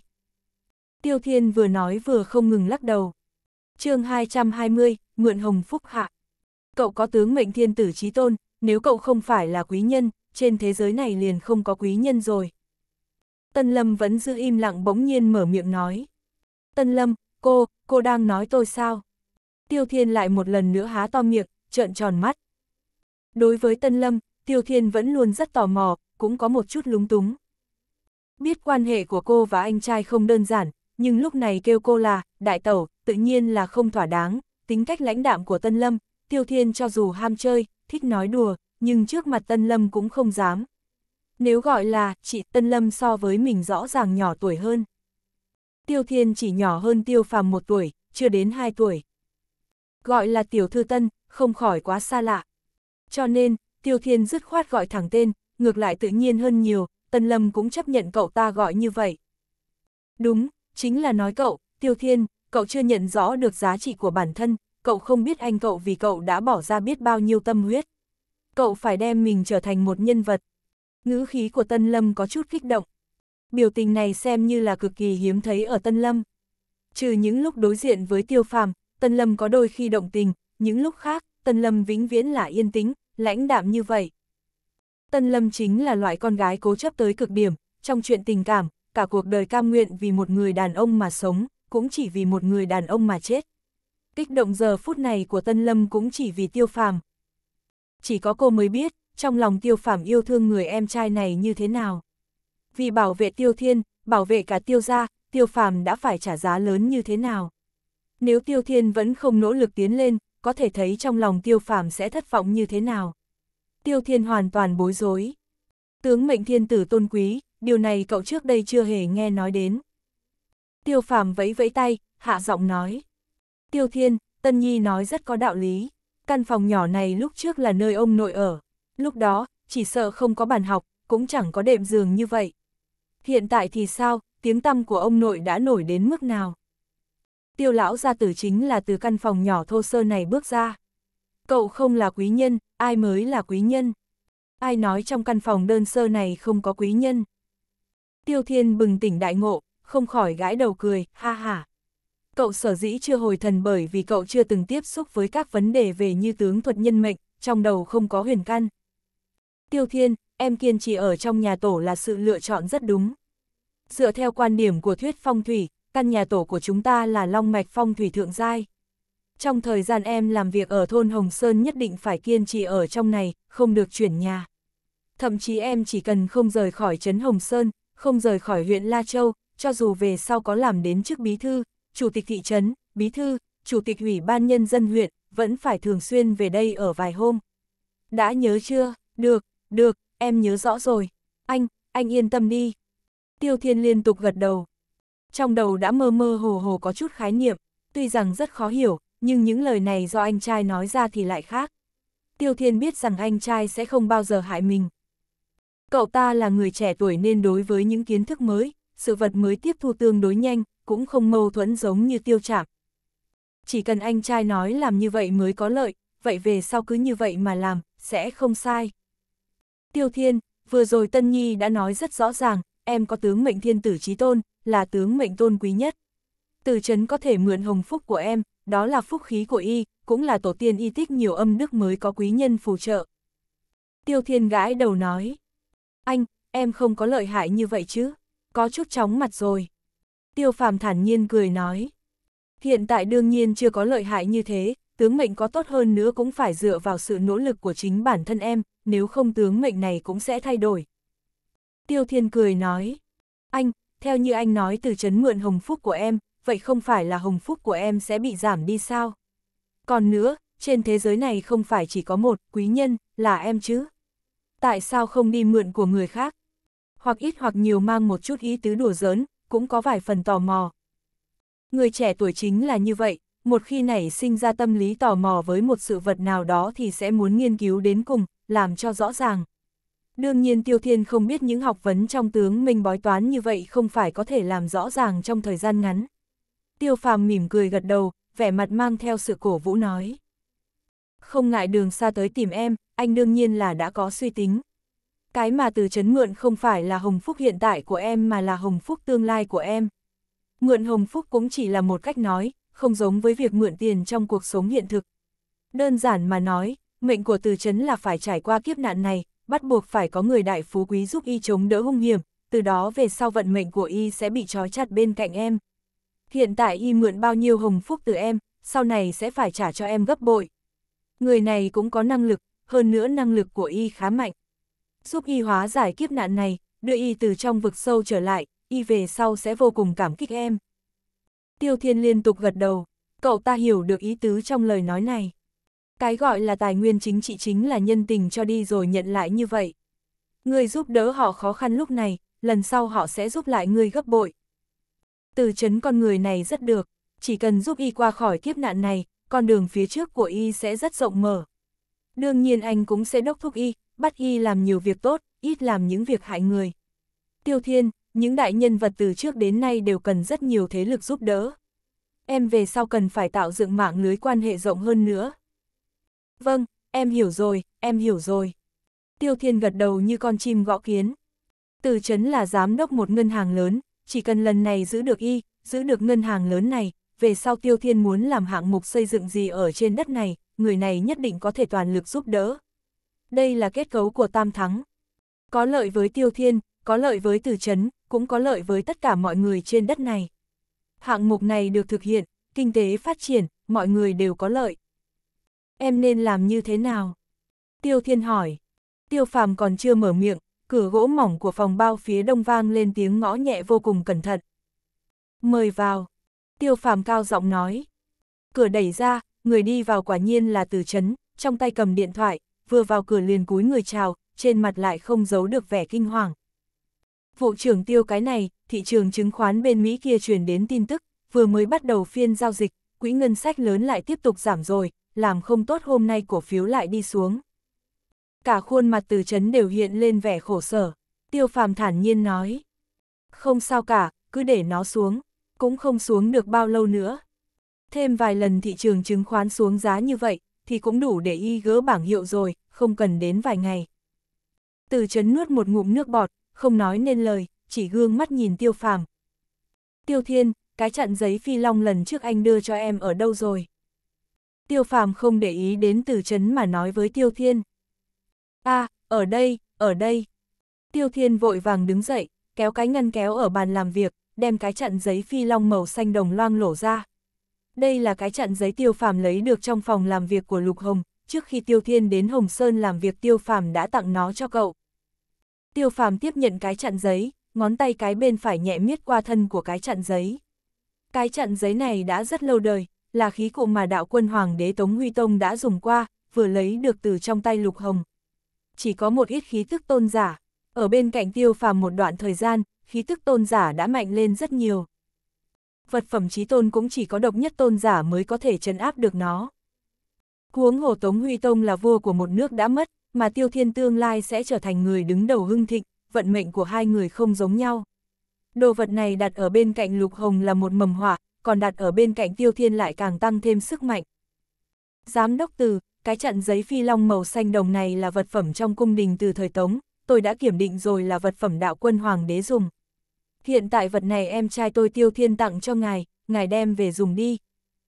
Đặt ở trên bàn thờ trong văn phòng của ngài, chính là nơi ngài dùng để cúng bái thần tài. Tiêu phàm đem cái chặn giấy phi long đưa cho tử chấn. tử chấn vội vàng đưa hai tay đón nhận, coi như bảo vật, khẩn trương vô cùng, chỉ sợ mình không cẩn thận làm rơi. Giám đốc từ, cung phụng phải có lòng thành khẩn, như vậy mới có thể trấn áp được kiếp nạn của ngài. Nếu như ngài chỉ làm qua loa cho xong thì nó sẽ không linh nghiệm. Điểm này ngài phải nhớ kỹ. Tiêu phàm chậm rãi nói, ngữ khí vô cùng nghiêm trọng. Vâng, vâng, trưởng phòng tiêu an tâm, tôi nhất định thành khẩn cung phụng, quyết không qua loa cho xong việc. Vụ trưởng tiêu vì tôi từ chấn mà hao tổn nhiều tâm huyết, đến vật tùy thân của tiêu nhị thiếu ra cũng tặng cho tôi, tôi vô cùng cảm kích, vô cùng cảm kích. Từ chấn không ngừng nói. Trong lòng hiểu được tiêu phàm nói, mượn hồng phúc của quý nhân, đoán chừng vị quý nhân này chính là tiêu thiên. Đừng nghĩ tiêu thiên bây giờ chỉ là một phó bí thư đảng ủy kiêm bí thư tri bộ nho nhỏ của thôn, bảng hiệu của tiêu gia không phải là giả, chỉ cần tiêu thiên từ nay về sau, sửa chữa, chú tâm trong con đường làm quan thì tiền đồ tương lai chưa chắc đã dưới uông thuật đô. Quả thật có thể gọi là quý nhân. Cái gọi là mượn hồng phúc tốt nhất là mượn của người tương lai sẽ trở thành quý nhân. Những người hiện tại đã là quý nhân vinh quang hiển hách thì phúc khí của họ thường là chính họ sử dụng, có thể cho mượn, thực sự không nhiều. Hơn nữa người muốn mượn cũng phải có sự đồng ý của họ mới được. Quý nhân không phải cam tâm tình nguyện, cho mượn, hồng phúc của mình, thì biện pháp mượn hồng phúc đó sẽ không linh nghiệm. Mượn hồng phúc, không phải đoạt hồng phúc. Dùng thủ đoạn cứng rắn hoặc bị ổi cướp đoạt sẽ đi ngược lại với ý nguyện ban đầu. Ở tiêu thiên sẽ không tồn tại vấn đề này, anh trai nói gì thì chính là như thế. Giám đốc từ, hôm nay cứ yên tâm nghỉ ngơi không cần nghĩ ngợi nhiều, ngày mai trở về cứ làm theo lời tôi dặn đem tất cả mọi việc hoàn thành hết, trên cơ bản ngài sẽ vượt qua cửa ải khó khăn này. Từ chấn lập tức tinh thần phấn chấn, lại liên tục nói tiếng cảm ơn. Lời nói này của tiêu phàm nói rất chắc chắn, không có nửa điểm lập lờ, y nghe rồi tinh thần lập tức hăng hái hẳn lên. Mặt khác sau khi trở về ngài nhớ quyên góp cho thôn Hồng Sơn một lô phân bón hóa học xem như là hành thiện tích đức. Về sau nhất định phải nhớ làm nhiều việc thiện, tích nhiều âm đức thì mới thật sự đi trên con đường của tướng mệnh phú quý. Audio điện tử võ tấn bền chương 221, chuyển vận. Tiêu phàm ở mật thất trong chỉ thủy quan nhận được điện thoại của từ chấn. Tiêu phàm không thường xuyên ở lại trong nội thành từ sau khi Anelina đi khỏi. Đương nhiên vào ban ngày cũng có lúc lộ mặt trong căn hộ mới mua ở Hán Hải, căn hộ do cô Sáu phụ trách trang trí lại còn chưa hoàn thành. Nếu như phải qua kiếp nạn hồng trần, muốn bước vào đời thì những thứ này là không thể tránh khỏi. Nhưng bình thường vào buổi tối thường trở về mật thất trong chỉ thủy quan ngồi thiền tu luyện. Hiện giờ thân phận đại thuật sư của hắn đã dần dần được công khai, điều này đã cùng nhị sư huynh Văn Thiên thương lượng xong.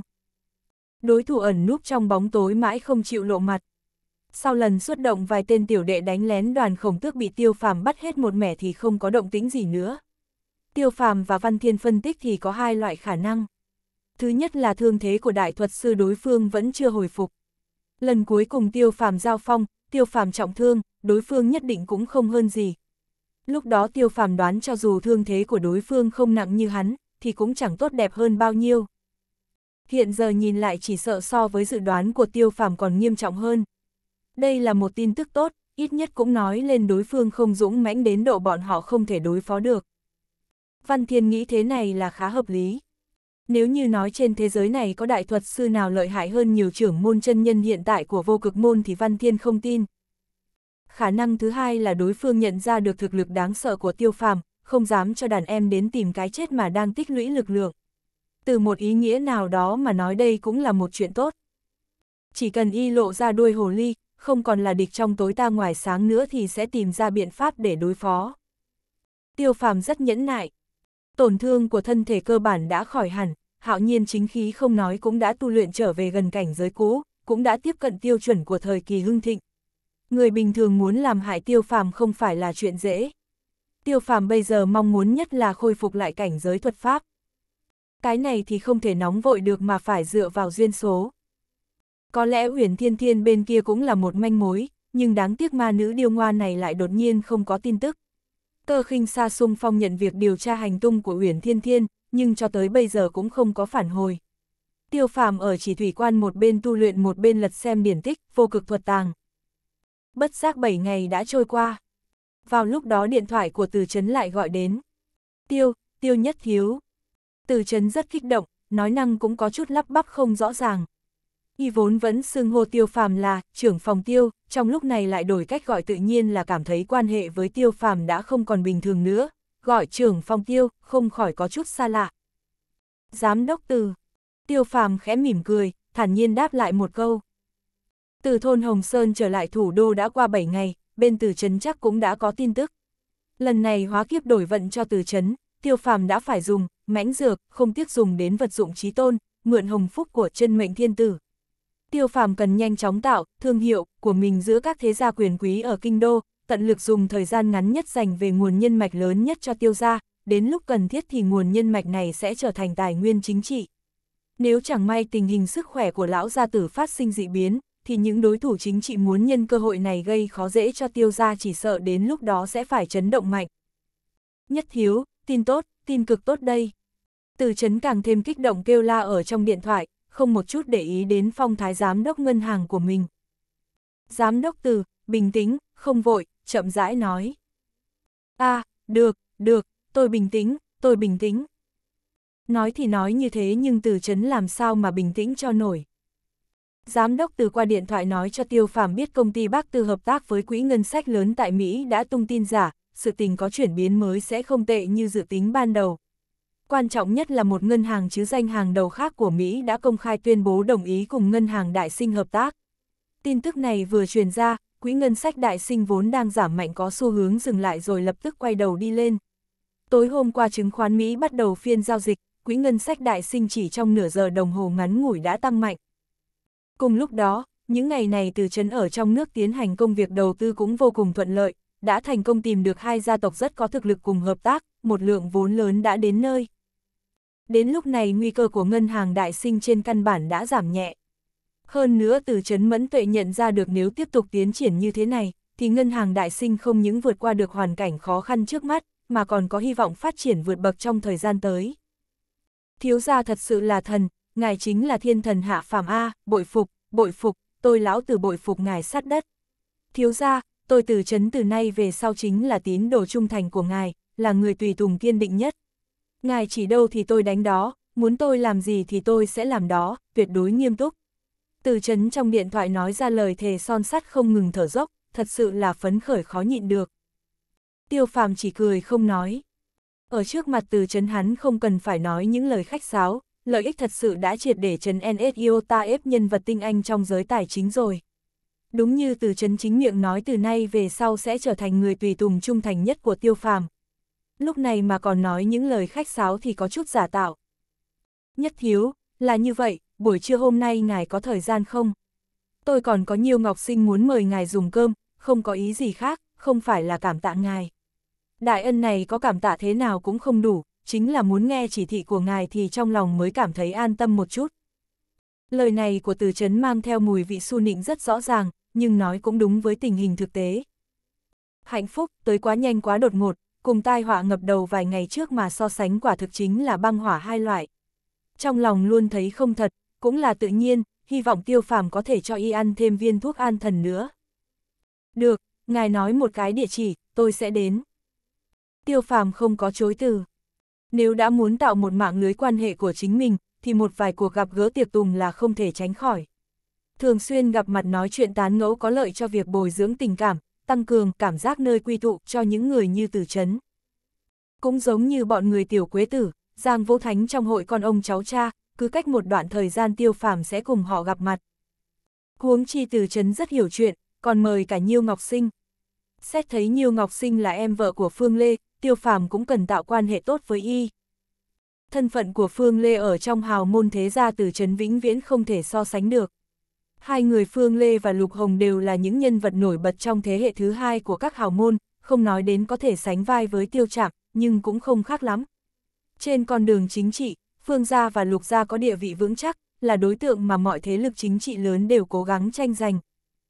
Được, được, vậy tại hội hoa nhài đi, lão Nhiêu nói nơi đó không tồi. Nhiêu Vũ Đình thích đi hội hoa nhài ăn cơm, Nhiêu Ngọc Sinh là em trai của bà ta, có lẽ khẩu vị cũng tương tự. Tiêu Phàm gật đầu đồng ý. Mời Tiêu Phàm ăn cơm từ trấn không dám có nửa điểm chậm trễ, đã sớm đứng ở trước cửa hội hoa nhài nghênh đón, nhưng Nhiêu Ngọc Sinh lại chậm chạp không thấy đến. Từ trấn có chút bồn chồn lo lắng gọi điện thúc giục Nhiêu Ngọc Sinh. Đã nói trước là hai người cùng bồi Tiêu Phàm ăn cơm mà tên bạn này lại cứ lề mà lề mề, có vẻ không đủ thành tâm. Ha ha, từ trấn, đừng nóng vội, tôi bên này còn mời thêm một người bạn. Nhiêu Ngọc Sinh nhận được điện thoại của Từ Trấn cười ha hả nói. Từ Trấn lập tức khẩn trương, hạ giọng nói. Còn mời thêm một người bạn, là ai? Không phải người nào cũng đủ tư cách cùng ngồi ăn cơm với tiêu phàm, nếu như Nhiêu Ngọc Sinh mời đến một người không biết trời cao đất dày trong bữa ăn nói năng linh tinh với tiêu phàm, chỉ sợ sẽ làm tiêu phàm mất hứng. Tựa như y trước đó mấy ngày chút xíu nữa đã đắc tội tiêu phàm, may mà tiêu thiếu ra người ta không chấp nhất, nếu không thì hiện tại giám đốc từ có khóc cũng không tìm thấy nấm mộ. Yên tâm đi, tuyệt đối là đại nhân vật có phân lược, đến lúc đó cậu sẽ biết. Tôi làm việc cậu còn không yên tâm sao? nhiều Ngọc Sinh nói rất chắc chắn. Từ Trấn cũng thật sự yên tâm, trong mắt nhiều Ngọc Sinh toàn là đại nhân vật, người kia chắc cũng vậy, thân phận địa vị không thấp. Ước chừng 10 phút sau, hai chiếc Mercedes-Benz một trước một sau đi vào hội hoa nhài. Từ Trấn ánh mắt lập tức sáng ngời. Chiếc xe Mercedes-Benz phía trước là biển số của Nhiêu Ngọc Sinh, y đã quá quen thuộc, biển số của chiếc xe phía sau từ trấn cũng không phải là không biết. Không nghĩ tới Nhiêu Ngọc Sinh nói muốn mời bạn lại chính là bà chủ của tập đoàn cơ thị cơ khinh xa. Đúng là đại nhân vật. Cơ khinh xa cho dù không phải là con cháu quý tộc trong kinh đô, nhưng thế lực và sức ảnh hưởng tại kinh yến tuyệt đối không thể khinh thường. Từ trấn trước đó cũng định nhờ vào cơ khinh xa, cơ khinh xa cũng không từ chối ngay mà đáp ứng y sẽ suy nghĩ kỹ. Nói về tài hùng thế mạnh, cơ khinh xa là lãnh đạo tập đoàn cơ thị, trong toàn quốc cũng luôn xếp phía trên.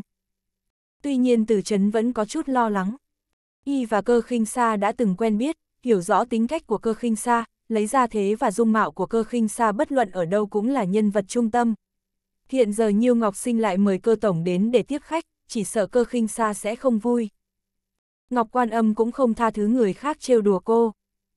Từ chấn tuy trong lòng còn lo lắng nhưng cũng không dừng bước đến phía trước tự mình mở cửa xe cho cơ khinh xa, vẻ mặt tươi cười nói. Cơ tổng, hoan nghênh, hoan nghênh, hoan nghênh cơ tổng đại giá Quang Lâm.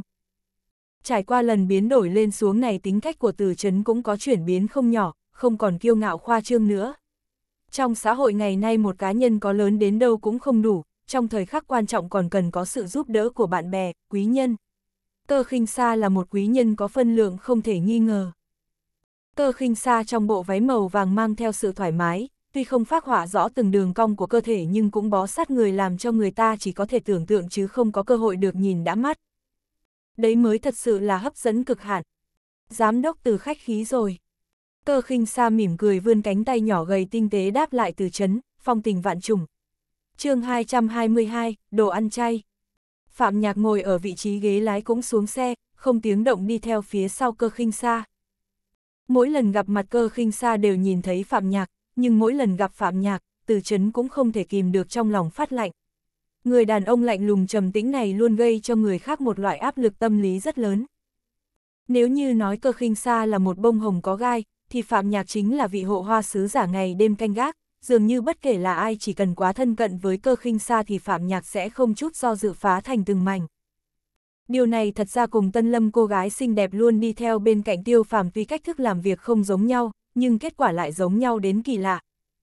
Tuy nhiên nam nữ có sự khác biệt, ở trong mắt từ chấn thì Tân Lâm thuận mắt hơn Phạm Nhạc nhiều.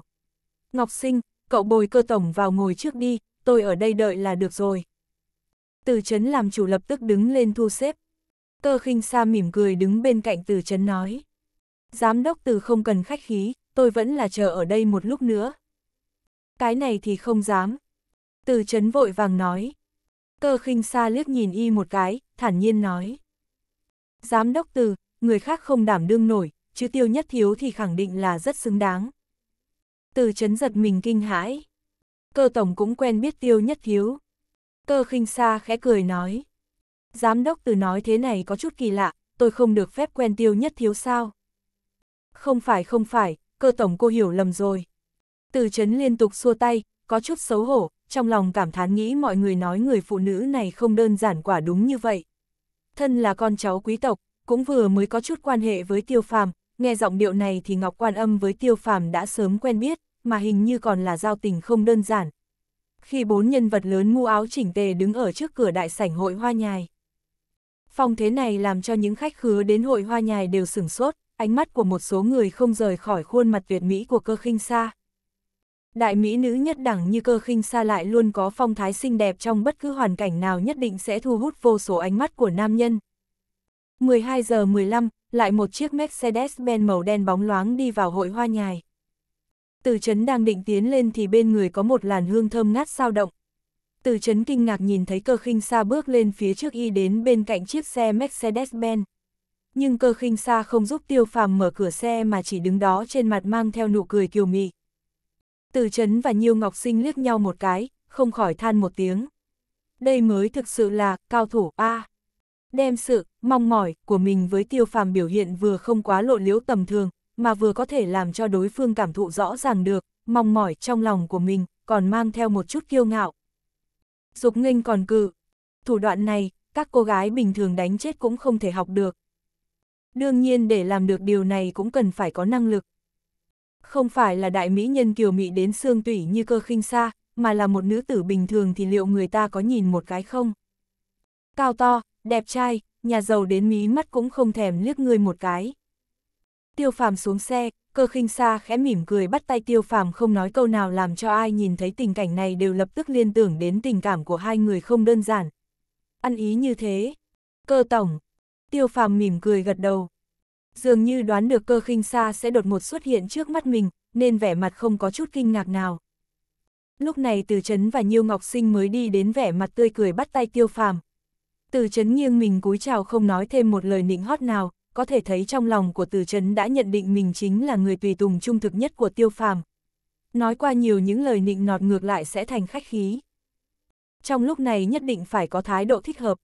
Nhiều Ngọc Sinh lại khách khí hàn huyên một vài câu nịnh nọt. Dù sao anh ta và tiêu phàm quan hệ chỉ có quan hệ bình thường, hôm nay đáp ứng lời mời của Từ chấn thứ nhất là do nể mặt Từ chấn, cổ vũ y thứ hai chủ yếu là do Phương Lê đánh giá tiêu phàm không tầm thường. Cùng, cao nhân, như tiêu phàm quan hệ tốt khẳng định là không sai.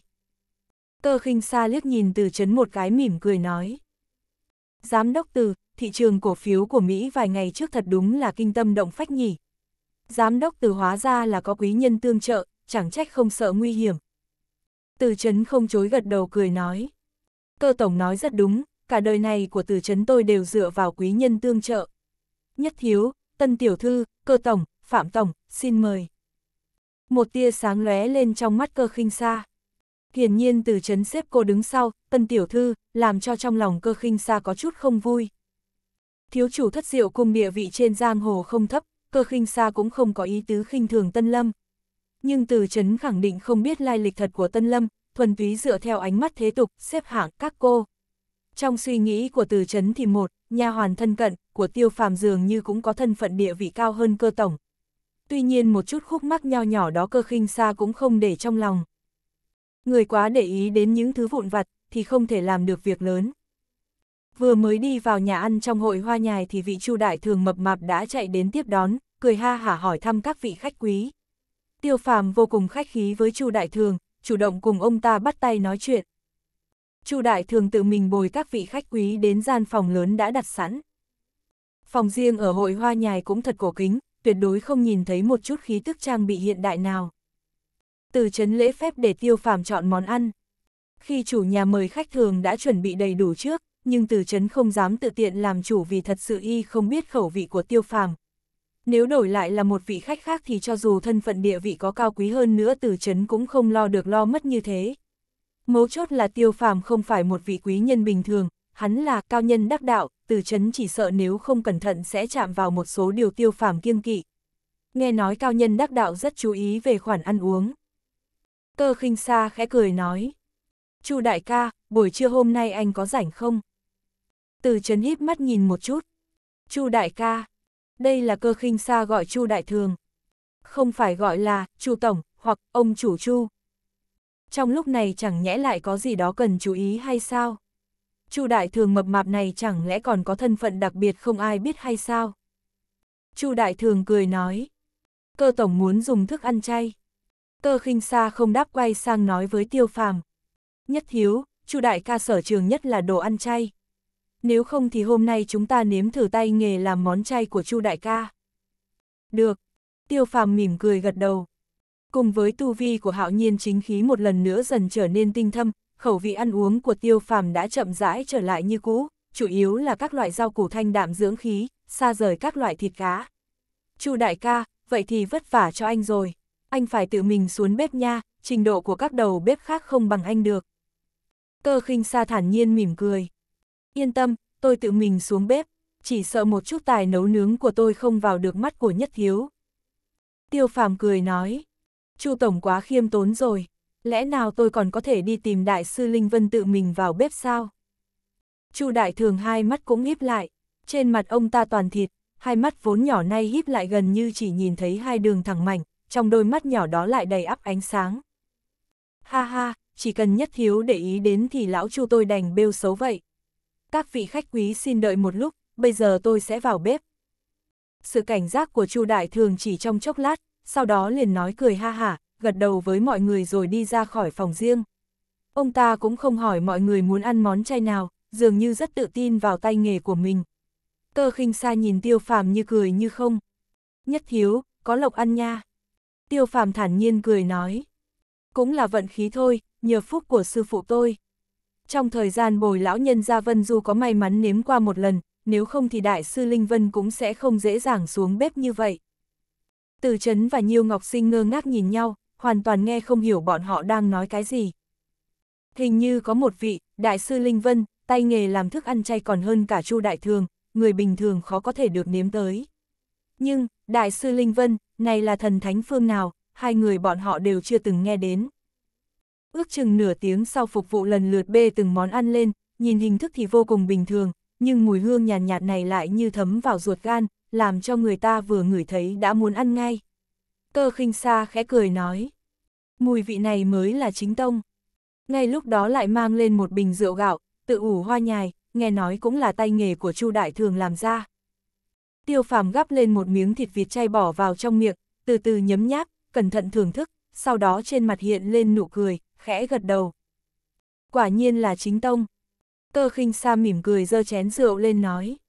Đến, chúng ta cùng kính nhất thiếu. Từ chấn, Nhiêu Ngọc Sinh vội vàng nâng chén theo. Bởi vì tính tiêu phàm điềm đạm, hơn nữa còn có hai đại mỹ nữ là cơ khinh sa và tân lâm, nên không khí trên bàn ăn trước sau đều rất ôn hòa lịch sự, mọi người ăn uống đều rất nhã nhặn nghiêm chỉnh. Trong bữa ăn cơ khinh sa đột nhiên hỏi. Nhiêu Tổng, nghe nói chủ nhiệm Phương muốn đến Yến Bắc chúng tôi công tác. Nhiêu Ngọc Sinh kinh ngạc cười nói. Tin tức của cơ tổng đúng là linh thông. Cơ khinh Sa cười nói. Tôi là người Yến Bắc, tình hình ở quê nhà tôi luôn quan tâm một chút. Chủ nhiệm Phương đến Yến Bắc công tác chúng tôi rất hoan nghênh a. À.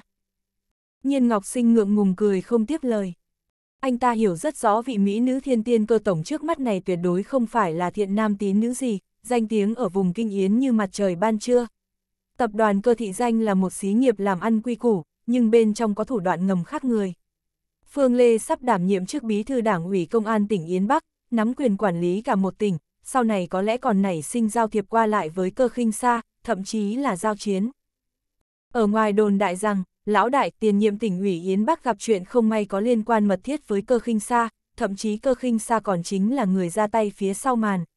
Nhiều ngọc sinh làm sao dám đem chuyện này ra bàn tán. May mà cơ khinh xa hình như hiểu được tâm tình của anh ta, chỉ mỉm cười không nói gì nữa. Chỉ là vuốt ve chén rượu thanh hoa trong tay như có điều suy nghĩ chương 223, có tin tức của Uyển Thiên Thiên rồi. Sau bữa ăn, từ chấn đề nghị có nên vận động một chút không, hội hoa nhài này có rất nhiều phương tiện giải trí và tập thể hình. Cơ khinh xa khẽ cười nói. Giám đốc từ, chỉ sợ nhất thiếu không có thời gian.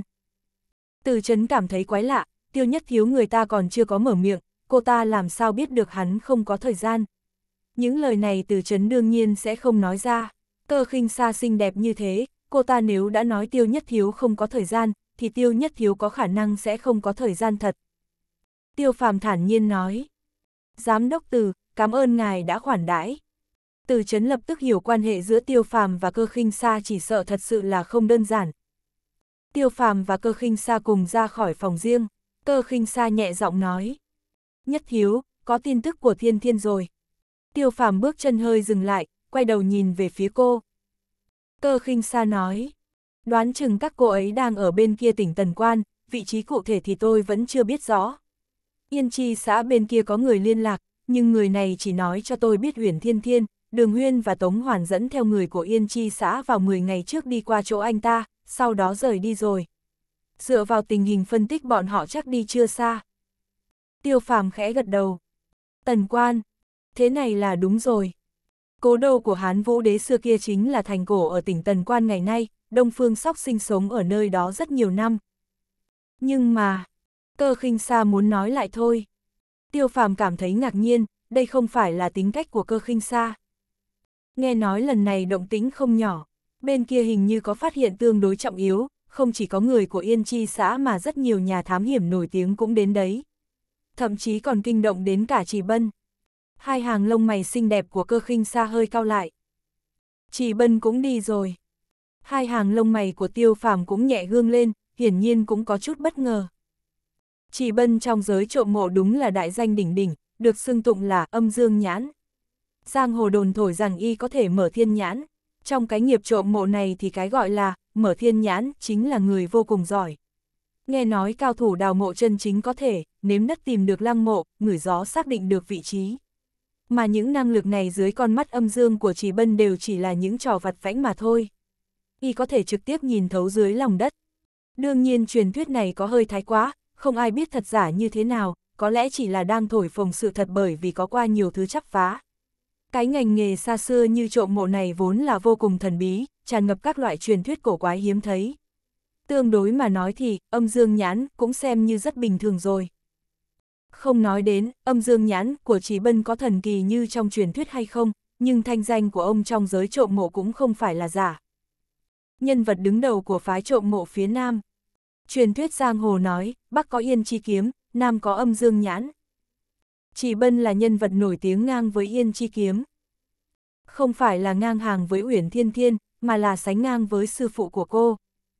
Dựa theo tuổi tác mà suy đoán, lúc Chỉ Bân nổi danh trên giang hồ này thì Uyển Thiên Thiên vẫn còn là một cô bé trong nhà trẻ giơ hai tay ngoan ngoãn ngồi trong phòng học chờ cô giáo phát bánh quy. Tân Lâm thản nhiên nói. Không phải nói Chỉ Bân đã sớm rửa tay gác kiếm sao? Cơ khinh xa lắc đầu nói. Không phải, chỉ là mấy năm nay ông ta không thường xuyên ra tay mà thôi, chỉ bân lòng dạ lang sói, theo như thiên thiên nói, nhiều năm trước ông ta cùng yên chi xã bọn họ còn từng có khúc mắc. Hiện tại đã lâu không có tin tức của thiên thiên, tôi rất lo lắng, tính cách của thiên thiên. Nói tới đây, cơ khinh xa khẽ lắc đầu, thở dài một tiếng. Đừng nhìn thiên thiên bề ngoài là một cô gái ngây thơ lãng mạn không hề có tâm cơ, tính tình thực tế có chút nóng nảy. Nếu thật sự đụng chạm với chỉ bân, thì phiền toái không nhỏ đâu. Yên chi kiếm thủ đoạn độc ác vô tình, chỉ bân cũng không phải là loại thiện nam tín nữ.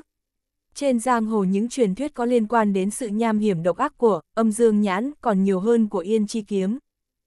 Đi thôi. Tiêu phàm hạ giọng nói, bước nhanh về phía trước.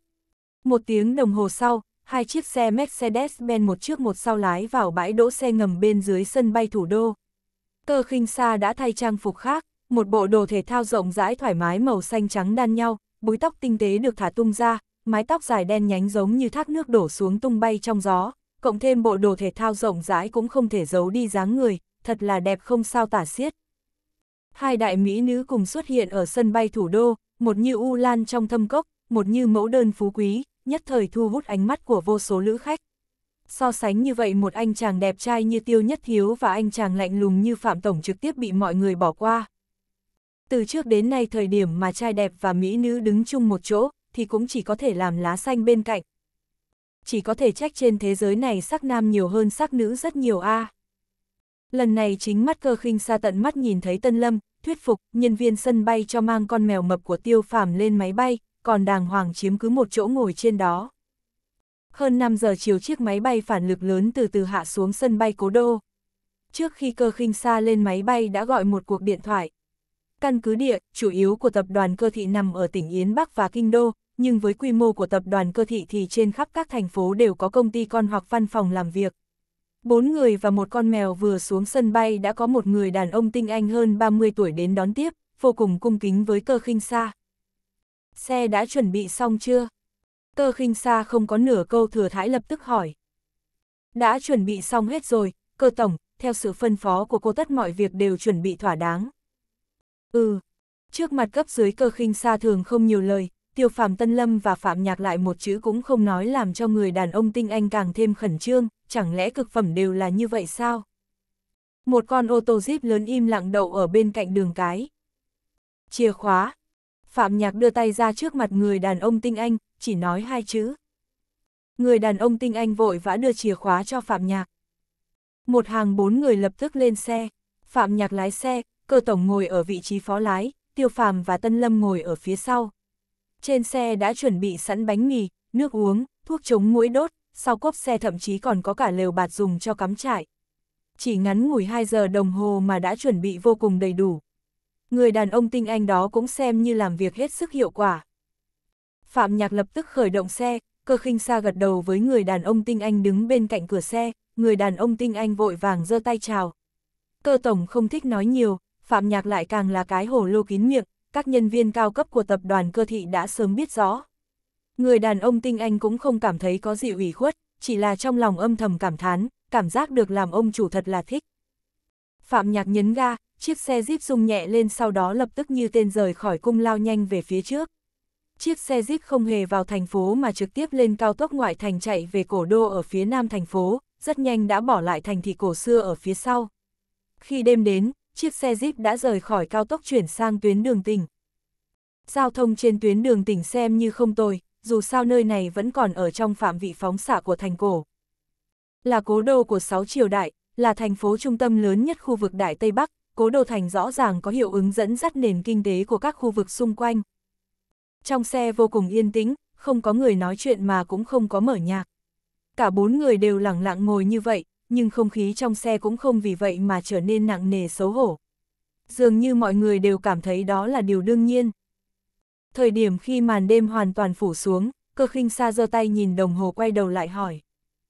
Nhất thiếu, có phải là nên tìm nơi ăn cơm trước? Đường càng về sau càng không dễ đi rồi.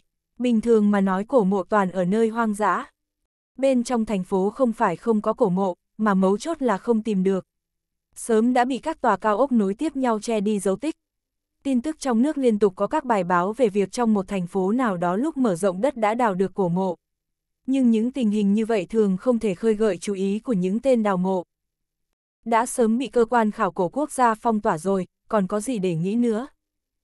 Đây cũng là nguyên nhân cơ khinh xa đặc biệt chuẩn bị chiếc xe Việt dã này. Tiêu phàm lắc đầu nói. Không cần, trong xe có đồ ăn, tùy tiện ăn một miếng đi thời gian cũng không còn sớm nữa. Vậy được rồi, chúng ta tiếp tục lên đường. Tân Lâm lấy một cái bánh mì, xé bỏ bao bì bên ngoài, yên lặng đặt vào tay tiêu phàm. Rất nhanh chiếc xe Jeep bắt đầu sóc nảy. Jeep Grand Cherokee có thể coi là một chiếc xe Việt dã khá chuyên nghiệp, tính năng giảm sóc khá tốt. Đổi lại là một chiếc xe khác đi trên con đường nông thôn gồ ghề như thế này không cần đến một giờ đồng hồ toàn thân xương cốt đều đã mệt mỏi dã rời. Xe jeep sóc này 2 giờ đồng hồ đến gần 10 giờ tiến vào một cái chấn nhỏ mới dừng lại. Cho dù cả bốn người trên xe đều võ nghệ cao cường, thân thể tráng kiện cũng không thể đợi được nhảy ra khỏi xe, hít thở thật sâu không khí trong lành mang mùi vị bùn đất đầu hè. Bóng đêm bao phủ xuống chấn nhỏ vốn vô cùng an tĩnh, chiếc xe jeep vừa đỗ xuống đột nhiên một con chó quê từ ven đường khu dân cư xông ra, sủa lên với đám người tiêu phàm. Lập tức dẫn ra một loạt phản ứng dây chuyền, trong khoảng thời gian ngắn tất cả chó trong chấn nhỏ thi nhau sủa, rất là náo nhiệt.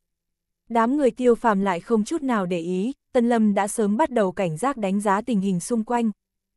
Đây thật đúng là một cái chấn nhỏ, tầm mắt có thể nhìn bao quát cả chấn, chỉ có hai con đường một ngang một dọc, xe jeep đậu vừa đúng trên ngã tư đường trung tâm chấn, con chó quê kia là từ chung cư nhỏ 4 tầng chạy ra, có vẻ đây là tòa nhà cao nhất trong chấn nhỏ, trên lầu 2 có treo một bảng đèn sáng lấp lánh, bên trên viết bốn chữ, nhà trọ Dương Tây. Có lẽ cái trấn nhỏ này gọi là trấn Dương Tây. 10 giờ tối ở trong thành phố là khoảng thời gian sống về đêm phong phú nhất, đâu đâu cũng là xa hoa trụy lạc, ca hát khiêu vũ. Nhưng ở cái trấn nhỏ nơi hẻo lánh này đại đa số hộ gia đình đều sớm đã ngủ. Nhà trọ Dương Tây cũng có một sảnh nhỏ, cửa kính, lóe lên ánh sáng yếu ớt của ngọn đèn.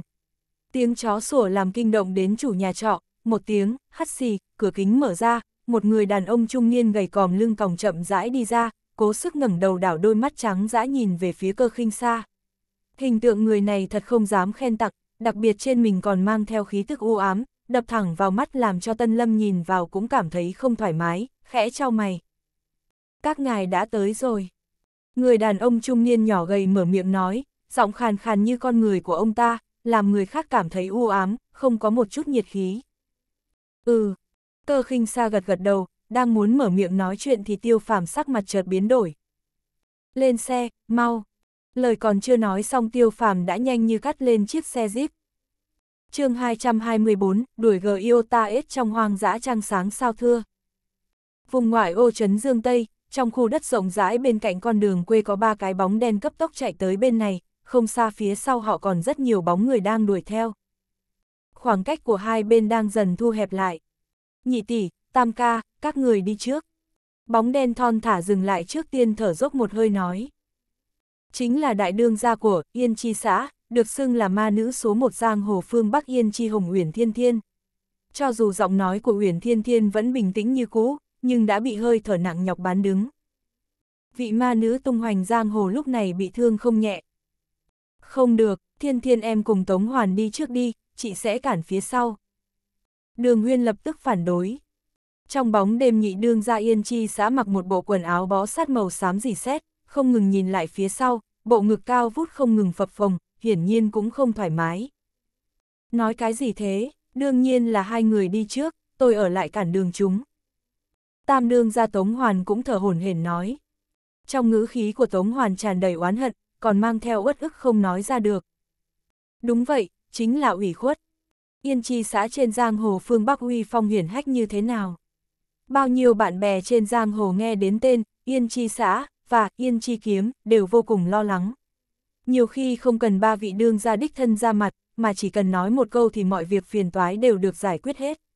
Hiện giờ cả ba vị đương ra cùng ra tay mà lại bị người ta đuổi gờ yêu ta ết ở ngoại thành hoang vu, thậm chí muốn chạy trốn còn khó. Uyển Thiên Thiên, Đường Huyên, Tống Hoàn đều bị thương, còn tiếp tục bị truy đuổi như vậy, ai cũng đừng mong chạy thoát, sớm hay muộn sẽ bị đuổi kịp. Đừng nói nhảm. Uyển Thiên Thiên gào to một tiếng. Đến lúc nào rồi mà còn tranh cãi những thứ vô dụng này. Hai người các ngươi ai có thể cản nổi chỉ bân. Một tiếng quát này lập tức chấn trụ Đường Huyên và Tống Hoàn, hai người ngơ ngác nhìn nhau, ai cũng không lên tiếng nữa. Uyển Thiên Thiên nói không sai. Hai người bọn họ ai cũng không đỡ nổi Trì Bân. Cái gã mập mạp kia cả người núc ních toàn thịt, so với Hà Mã không gầy hơn bao nhiêu, nhưng thân thủ không phải tầm thường. Không cần nói Đường Huyên và Tống Hoàn đã bị thương không nhẹ, cho dù cả hai người hoàn toàn khỏe mạnh cũng không chạy thoát khỏi tay chỉ Bân được mấy lần. Nhất là lúc này trong một hai chục dặm truy đuổi, chỉ Bân nặng trên trăm cân nhưng cũng không để chậm lại nửa bước, ngược lại càng đuổi càng thu hẹp lại khoảng cách. Đương nhiên là do gã thủ đoạn bị ổi đánh lén nhóm người Uyển Thiên Thiên làm cho họ đều bị thương không thể toàn lực tháo chạy, nhưng sự nhẫn nại của Chỉ Bân cũng thật kinh người. Vậy cô phải làm sao? Tống Hoàn có phần sốt ruột hỏi. Trong hoàn cảnh bình thường đấu một trọi một, Uyển Thiên Thiên đương nhiên không sợ Chỉ Bân. Nhưng tình hình trước mắt rõ ràng là không bình thường. Uyển Thiên Thiên bị thương rất nặng, hơn nữa không phải là vết thương bình thường mà đã xâm nhập vào cơ thể tạo thành nội thương. Cổ mộ thời Hán kia cũng thật sự là tà môn. Là tam đương gia của tổ chức trộm mộ lớn nhất phương Bắc, Tống Hoàn trong giới trộm mộ có thể nói là kinh nghiệm phong phú, có loại cổ mộ nào chưa từng thấy. Thế mà lại chưa từng thấy dạng này, vừa vào địa cung liền cảm thấy rõ ràng sự bất đồng. Rất âm u, hàn khí xâm nhập vào người. Một tên trộm mộ lại nói nó, âm u, nghe vào quả thực là buồn cười, nhưng cảm giác của Tống Hoàn là thực. Không chỉ Tống Hoàn có cảm giác đó, mà Uyển Thiên Thiên và Đường Huyên cũng có cảm giác như vậy. Cái sự âm u của cổ mộ này thực sự khác thường, dường như bọn họ không phải là vào địa cung cổ mộ cách bề mặt đất 5 đến 6 mét, mà là không cẩn thận rơi xuống 18 tầng địa ngục. Cái loại hàn khí âm u tập kích người đó không phải do tâm lý sinh ra, mà là đến từ cảm giác trong lòng. Giống như trong ngôi cổ mộ kia có một đôi mắt lạnh lẽo âm u từng phút từng giây chừng nhìn bọn họ, cái loại nguyền rủa và âm sát đến từ viễn cổ, chỗ nào cũng xâm nhập vào, theo sát trên người bọn họ đến từng lỗ chân lông, chen chúc chui vào trong cơ thể họ. Đường Huyên và Tống Hoàn vẫn còn tốt chỉ dùng mình mấy cái, Uyển Thiên Thiên thì, vết thương cũ phát tác, ngay tại chỗ, không thể không sử dụng một tấm, chính khí phù, tiêu phàm tặng, mới có thể miễn cưỡng chống lại hàn khí xâm nhập. Tình cảnh này cũng vô cùng quỷ dị. Đường Huyên và Tống Hoàn về mặt võ thuật và nội công đều không bằng Uyển Thiên Thiên, theo lý thì họ mới là những người không chịu nổi hàn khí xâm nhập trước. Nhưng giờ họ trái lại không sao cả, có lẽ liên quan đến phương thuốc tiêu phàm kê cho họ. Cho đến tận bây giờ Tống Hoàn vẫn không phục tiêu phàm, nhưng y không thể không thừa nhận phương thuốc tiêu phàm kê cho y rất đúng bệnh. Chiếu theo đơn uống thuốc triệu chứng âm hàn theo y lâu năm rõ ràng đã chuyển biến tốt đẹp. Tình hình của đường huyên cũng tương tự như y, ước chừng một khoảng thời gian ngắn nữa âm khí trong cơ thể bọn họ sẽ dần tan hết. Tiêu phàm không kê phương thuốc cho Uyển Thiên Thiên chỉ viết cho cô một pháp môn về đạo khí. Theo như đường huyên kể thì tiêu phàm cũng đã nói đây là một phương pháp về đạo khí, không chắc có tác dụng. Nếu muốn loại bỏ toàn bộ âm khí độc hại trong cơ thể của Uyển Thiên Thiên, phương pháp tốt nhất là ở bên cạnh tiêu phàm ngày đêm không rời để tiêu phàm đúng giờ làm phép cho cô mới hy vọng trừ hết tận gốc. Nhưng Uyển Thiên Thiên lại không để lời cảnh cáo của tiêu phàm vào trong lòng, tự làm theo ý của mình. Tính cách của ma nữ số một này vốn là như vậy, nếu lời nói của người nào cũng có thể nghe lọt tai thì Uyển Thiên Thiên có còn là ma nữ số một trên giang hồ phương Bắc không? Nhưng ngôi cổ mộ thời Hán này âm khí nặng vô cùng, vượt xa dự liệu của mọi người. Uyển Thiên Thiên bị âm khí xâm nhập làm vết thương cũ phát tác, sau khi rời cổ mộ lại bị Chỉ Bân đánh lén. Với tình hình của cô hiện nay thì chính cô cũng khó đối phó được với Chỉ Bân, huống chi bên cạnh Chỉ Bân còn có nhiều trợ thủ bản lĩnh không tồi. Mọi người đi trước, tôi chặn bọn họ lại một chốc. Chỉ cần mọi người đều đi trước, còn một mình tôi chưa chắc bọn họ đã chặn lại được. Uyển Thiên Thiên chậm rãi nói, nhưng ngữ khí vô cùng chắc chắn, không thể thương lượng. Đường Huyên và Tống Hoàn lại liếc nhau một cái. Uyển Thiên Thiên nói lời này có chút tổn thương người, quả thực chính là xem bọn họ như gánh nặng. Đương nhiên bây giờ không phải là lúc so đo loại chuyện này, là trợ thủ hay là gánh nặng tùy thời điểm mà khác nhau. Tỷ như khôi giáp, thời điểm chiến tranh kịch liệt là vật bảo mệnh, lúc công thành tác chiến thì chiếc áo giáp nặng nề lại trở thành trói buộc. Dưới tình huống bình thường, Đường Huyên và Tống Hoàn võ công không thấp, cùng liên thủ với Uyển Thiên Thiên thì đương nhiên họ là trợ thủ nhưng trong tình hình hiện tại thì ba người liên thủ cũng đánh không lại người ta, như vậy tự mình thoát thân lại càng phù hợp với thực tế. Đi mau, chớ chỉ hoãn Mắt thấy truy binh càng ngày càng đến gần, Uyển Thiên Thiên lại quát khẽ một tiếng. Cũng chỉ trong thời gian nói mấy câu đó truy binh đã đuổi đến. Người đứng phía trước thân hình vô cùng to lớn mập mạp, tựa như một núi thịt lớn. Dưới ánh trăng trong trẻo lạnh lùng làm cho người ta có cảm giác bị chèn ép ai cũng không thể tưởng tượng được núi thịt cực đại đó lại có thể chạy nhanh như vậy, giống như là ngựa phi. Toàn bộ mặt đất gần như đều chấn động. Trong cái nghề trộm mộ này chỉ bân xem như là lão tiền bối, rất ít người nghĩ rằng âm dương nhãn, chỉ bân lại là một tên béo mập cường tráng như vậy. Cho dù dựa vào phỏng đoán khách quan nhất, thì thể trọng của Trì Bân cũng phải trên 100 cân. Tốc độ của Trì Bân từ từ chậm lại, đứng tại vị trí cách huyền thiên thiên chừng 6-7 mét thở hồn hền. Mặc kệ chỉ bân võ công cao cường cỡ nào, sức chịu đựng cao bao nhiêu, nhưng với thể trọng không chỉ gấp hai lần Uyển Thiên Thiên đó của y thì việc liên tục chạy một hai chục dặm không dừng, vẫn là suốt toàn lực để chạy mà có thể xem như không có chuyện gì, không đỏ mặt không thở gấp, nào có dễ dàng như vậy. Theo sát sau chỉ bân là ba người, hai nam một nữ, trong đêm tối không nhìn rõ diện mạo đều giống như đám người Uyển Thiên Thiên mặc quần áo bó sát, chỉ có thể từ dáng người mà phân biệt được nam nữ. Có điều dáng người của nữ nhân kia tương đối hiểu điệu, so với Uyển Thiên Thiên và Đường Huyên cũng không kém gì. Ba trợ thủ của Trì Bân hiển nhiên cũng là những kẻ lão luyện, không cần Trì Bân phân phó đã lập tức tản ra bốn phía bao vây nhóm người Uyển Thiên Thiên, không cần nói một lời nào, nhưng lại biểu hiện ra sự ăn ý kinh người. Đều đứng lại. Uyển Thiên Thiên hừ lạnh một tiếng. Ba người đang tản ra lập tức dừng bước lại. Đại đương gia đã nghĩ thông rồi. Chỉ bân lại thở dốc một hơi cười nói, giọng điệu tương đối thoải mái. Theo cục diện trước mắt mà nói, ông ta rõ ràng đang chiếm ưu thế, đương nhiên có thể ung dung, không vội vàng không hấp tấp. Chỉ thúc, cái này là thúc không đúng rồi. Uyển Thiên Thiên cười khanh khách một tiếng, ngọt ngào nói, nghe vào dường như thật sự là đang nói chuyện với một vị trưởng bối quan tâm đến cô, không nhìn ra một chút ác khí nào. Chỉ bân trên giang hồ sánh ngang với sư phụ của cô, tiền nhiệm đại đương gia yên chi xã. Uyển Thiên Thiên lúc còn nhỏ cũng đã gặp chỉ bân vài lần, cho nên gọi, chỉ thúc cũng đã thuận miệng rồi. Chỉ có điều lúc này lại ngầm mang theo ý châm chọc.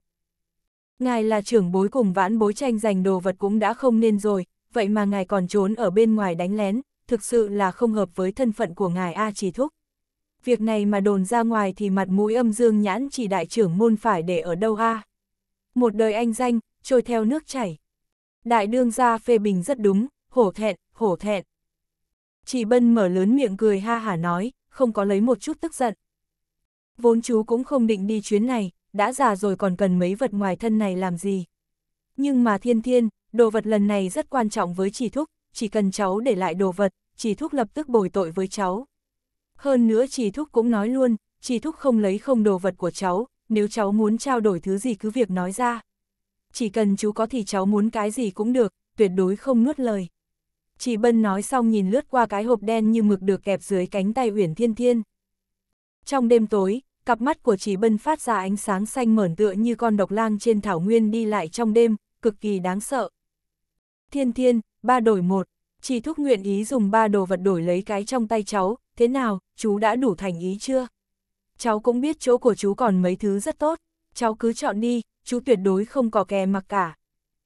Không đợi Uyển Thiên Thiên trả lời, chỉ Bân lại tiếp tục nói, giọng điệu vô cùng thành khẩn.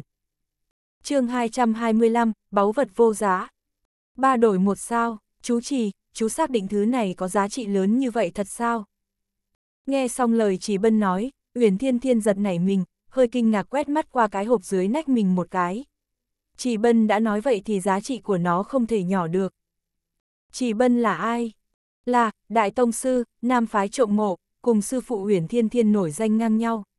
Trong nhà ông giờ cất chứa vô vàn thứ tốt, tùy tiện xuất ra vài món đều có thể nói là vô giá. Theo ý tứ của Chỉ Bân, chỉ cần huyền Thiên Thiên mở miệng, bất kể cô muốn ba loại chân bảo nào, Chỉ Bân cũng sẵn sàng đổi lấy. Có thật đáng giá vậy không, như vậy nguyên nhân tùy người rồi. Ví dụ như trong mắt chú chỉ cháu là báu vật vô giá, nhưng trong mắt cháu, chú chỉ thật sự cướp chó không bằng. Chỉ bân cười ha ha nói, trong giọng nói mang rõ ý trêu đùa. Uyển Thiên Thiên xinh đẹp như báu vật, người nam nhân nào thấy mà tim không đập thình thịch chứ? Chú trì, nếu cháu muốn bạch khởi kiếm, chú cũng đồng ý đổi hay sao? Uyển Thiên Thiên không thèm để ý lời trêu đùa của Chỉ Bân, rất nghiêm túc hỏi, một hơi tuôn ra tên tam kiện bảo vật. Mơ giữa ban ngày, chỉ Bân chưa trả lời, một nữ tử yểu điệu phía sau ông hừ lạnh một tiếng nói, giọng điệu cực kỳ khinh thường. Chỉ Bân cười khổ, nói, Thiên Thiên, cháu thật tàn nhẫn, thật muốn khoét thịt chú chỉ ra rồi. Uyển Thiên Thiên liền cười khanh khách. Cô biết rằng cô có công phu sư tử ngoạm, chỉ Bân cất chưa báu vật dù nhiều, nhưng mình lại nói ra tam bảo vật vật có thể nói là chấn trạch chi bảo của chỉ Bân. Nó được coi như là bảo vật đáng giá nhất trong đống đồ quý giá cất giữ bên trong. Ví dụ như bạch khởi kiếm, là bảo vật Việt Vương câu tiến kiếm, nổi tiếng, nghe nói rất thông linh. Vì thanh bảo kiếm này, Lưu Bát Gia đã tự mình tới phía nam đàm phán với Chỉ Bân, đưa ra điều kiện giống hệt Chỉ Bân lúc này, nguyện ý đổi ba lấy một. Kết quả là bóng dáng bạch khởi kiếm không thấy đâu, Chỉ Bân cơ bản không cho Lưu Bát bước vào cửa. ai dám có chủ ý đánh vào mấy bảo vật này thì chẳng khác nào đòi mạng của Chỉ Bân. Chú Chỉ không phải là chém gió cho ai đấy chứ. Cháu biết ngay chú luyến tiếc mà. Được, chú đồng ý. Uyển Thiên Thiên còn chưa nói xong, Chỉ Bân bỗng mở miệng nói. Im lặng, bốn phía chợt im tĩnh, tất cả mọi người đều ngừng hô hấp, chỉ có gió đêm lạnh thấu xương gào thét thổi qua, mang theo âm thanh nghẹn ngào của một đám người. Đường Huyên và Tống Hoàn hít một hơi khí lạnh, ngơ ngác nhìn nhau. Thật không dám nghĩ tới chỉ bân lại có thể đáp ứng. Thật sự nguyện ý đem tam kiện báu vật vô giá đến đổi lấy cái hộp đen dưới nách của Uyển Thiên Thiên. Cái hộp đen này rốt cuộc là bảo bối gì vậy? Mặc dù từ lúc bọn họ mang nó từ dưới đất lên, nhưng vẫn còn chưa mở ra xem, rốt cuộc bên trong cất giấu cái gì thì không ai biết cả. Nhưng chỉ bân nguyện ý tốn một cái giá lớn như vậy, nhất định không phải là nhỏ. Hơn nữa, những gì chỉ bân làm lần này đã vượt ra ngoài dự đoán của mọi người. Lão vốn có thể xuống tay cướp lấy, nhân lúc huyền Thiên Thiên đang đứng ở phía trước trong cung, một bước đoạt lấy cái hộp đen, nhưng lại cố tình trốn tại bên ngoài đánh lén. Thanh danh của ông trong giới trộm mộ mà nói, loại thủ đoạn quá bị ổi rồi. Mặc dù nói trộm mộ không phải là ngành được người ta tôn kính, nhưng cùng, phong độ thân sĩ cũng chẳng có quan hệ gì. Nhưng bất cứ ai trở thành nhân vật kiệt xuất, chung quy lại sẽ có chút kiêu căng và ngạo mạn. Chỉ bân lần này âm thầm đánh lén, ỉ lớn hát yêu ta ép nhỏ, nam bắt nạt nữ, nếu lan truyền ra ngoài thì một chút thanh danh cũng chẳng còn. Nhưng hiện tại chỉ bân lại không chút do dự dùng, ba đổi một, để trao đổi điều kiện, hơn nữa dưới tình hình trao đổi điều kiện lại chiếm ưu thế tuyệt đối, điều này có thể nói rõ một vấn đề trong chiếc hộp đen có một thứ vô cùng quan trọng. Ít nhất đối với chị Bân mà nói, so với tất cả những báu vật của ông ta phải lớn hơn nhiều. Hi hi, chú đáp ứng nhưng cháu không đáp ứng. Cháu xin lỗi, đồ chơi này là cháu lấy được, cháu thích nó rồi, cái gì cháu cũng không muốn đổi. Uyển Thiên Thiên khanh khách cười khẽ, trêu tức nói. Mặt cô không biết xấu hổ sao.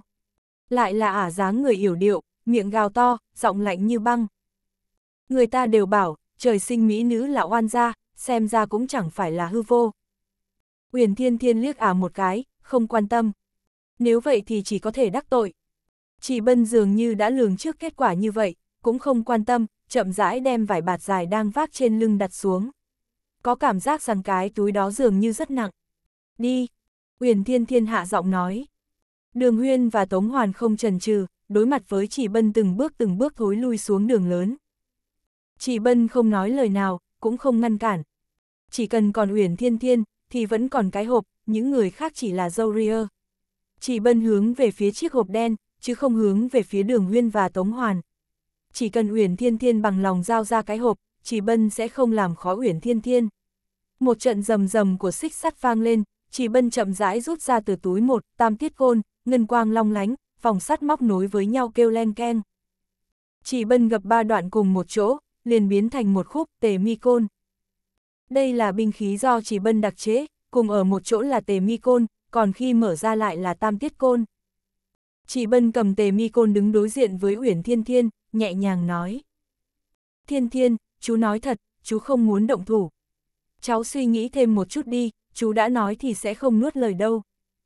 Dựa trên cục diện hiện nay, chỉ bân chiếm ưu thế rất lớn, bốn đấu một, bản thân Uyển Thiên Thiên còn đang bị trọng thương, trên cơ bản không có khả năng thắng được. Những lời này của Trì Bân cũng xuất phát từ nội tâm. Không phải bất đắc dĩ thì ai muốn cùng kiếm Yên Chi so chiêu. Uyển Thiên Thiên nhẹ nhàng cười, trong trẻo nhưng lạnh lùng dưới ánh trăng, bỗng nhiên một đạo hồng quang chợt lóe. Yên Chi kiếm. Chú Trì, cháu biết chú cùng sư phụ cháu đã luận võ qua, nhưng đó là chú cùng sư phụ cháu, hai ta còn chưa đánh qua lần nào đâu. Nghe nói âm dương côn pháp của chú chỉ và âm dương nhãn của chú rất nổi tiếng, hôm nay vừa đúng lúc muốn thỉnh giáo chút. Ngữ khí của Uyển Thiên Thiên vẫn điềm tĩnh như trước.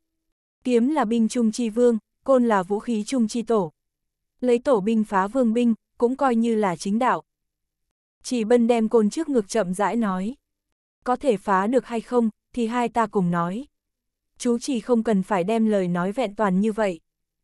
Nói rất đúng, đều là danh sư xuất cao đồ, lúc trước cũng tôn sư luận võ bất phân thắng bại, hôm nay ta cũng không có nắm chắc được phần thắng. Thiên thiên, nói thế nào thì chú vẫn là bề trên, không thể ỉ lớn bắt nạt bé. Như vậy đi, chúng ta lấy 10 chiêu làm hạn định, trong vòng 10 chiêu phân thắng bại, cháu thắng thì cháu đi, chú sẽ không ngăn cản. Còn chú thắng, cháu để cái hộp lại, chú cũng không làm khó cháu, thế nào? Chị Bân nói rất nghiêm túc. Nói về luận sự, những lời này của chị Bân quả rất công đạo. Những chuyện không thể đi cùng nhau liền đem nó lại cùng nhau, mùi vị lập tức trở nên có chút vấn đề. Chỉ Bân ở đây giảng đạo lý nghĩa khí, người đàn ông tốt, nhưng thế nào lại đi mai phục ở lối ra cổ mộ, đột nhiên đánh lén đám người uyển thiên thiên. Lời này nghe thì có vẻ, đường hoàng, nhưng nói trắng ra thì chính là sợ khi uyển thiên thiên đánh không lại, tính tình lưu manh bạo phát, liều lĩnh đem hủy chiếc hộp đen, ai cũng có thể nghĩ tới được. Lấy tính cách của Uyên Thiên Thiên mà nói, chuyện như vậy cô nhất định sẽ làm ra được, hơn nữa còn làm không nháy mắt. Tôi không chiếm được, các người cũng đừng hòng chiếm được nó. Vì vậy chỉ bân khi mở miệng mới để lại, đường sống, cho Uyển Thiên Thiên, bất kể thắng thua, cô cũng không thể rời đi, tính mạng thì không ngại, chỉ tránh sao cho cô bé kia trong tình huống cấp bách mà liều mạng thôi. Chú chỉ, chú cảm thấy cháu sẽ tin lời chú nói sao? Sau lưng đánh lén người ta chú còn làm được, còn cái chuyện chó má xui xẻo này chú còn không dám làm hay sao? Uyển Thiên Thiên vẫn hi hi cười, nhưng lời nói lại không có nửa phần khách khí. Chết đến nơi rồi còn lắm chuyện. Ả à, yểu điệu kia giận tím mặt, quát lên. Thất tỷ, nói chuyện cẩn thận, trong mắt tôi rất nhỏ, thù rất dai đấy. Cô đắc tội tôi, cả đời này tôi sẽ nhớ rõ cô. Uyển Thiên Thiên liếc ả một cái, không mặn không nhạt nói. Thật sao, đời này, ha ha, đời cô còn có mấy phút nữa chứ, ả duyên dáng cười ha ha. Lão thất, cẩn thận. Bỗng nhiên chỉ bân hô lên.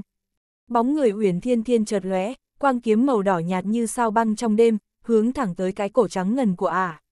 Khoảng cách giữa Uyển Thiên Thiên và ả vốn chỉ có hơn 10 mét, thân pháp của Uyển Thiên Thiên lại quá nhanh, khoảng cách 10 mét biến mất trong giây lát, ả còn chưa phục hồi tinh thần, yên chi kiếm đã cách cổ mình chưa tới ba thước. Ả chấn động, không kịp quát lớn chửi mắng, càng không kịp chống đỡ chỉ có thể đem hết khả năng nghiêng đầu sang một bên, sau đó là một tiếng đau đớn vang lên. Hừ, trong gió đêm, một cỗ mùi máu tươi thản nhiên bay ra. Huyết quang đã đổ rồi. Con điếm thối. Ả thét lên chói tai, chân dưới dùng sức, cấp tốc lui về phía sau.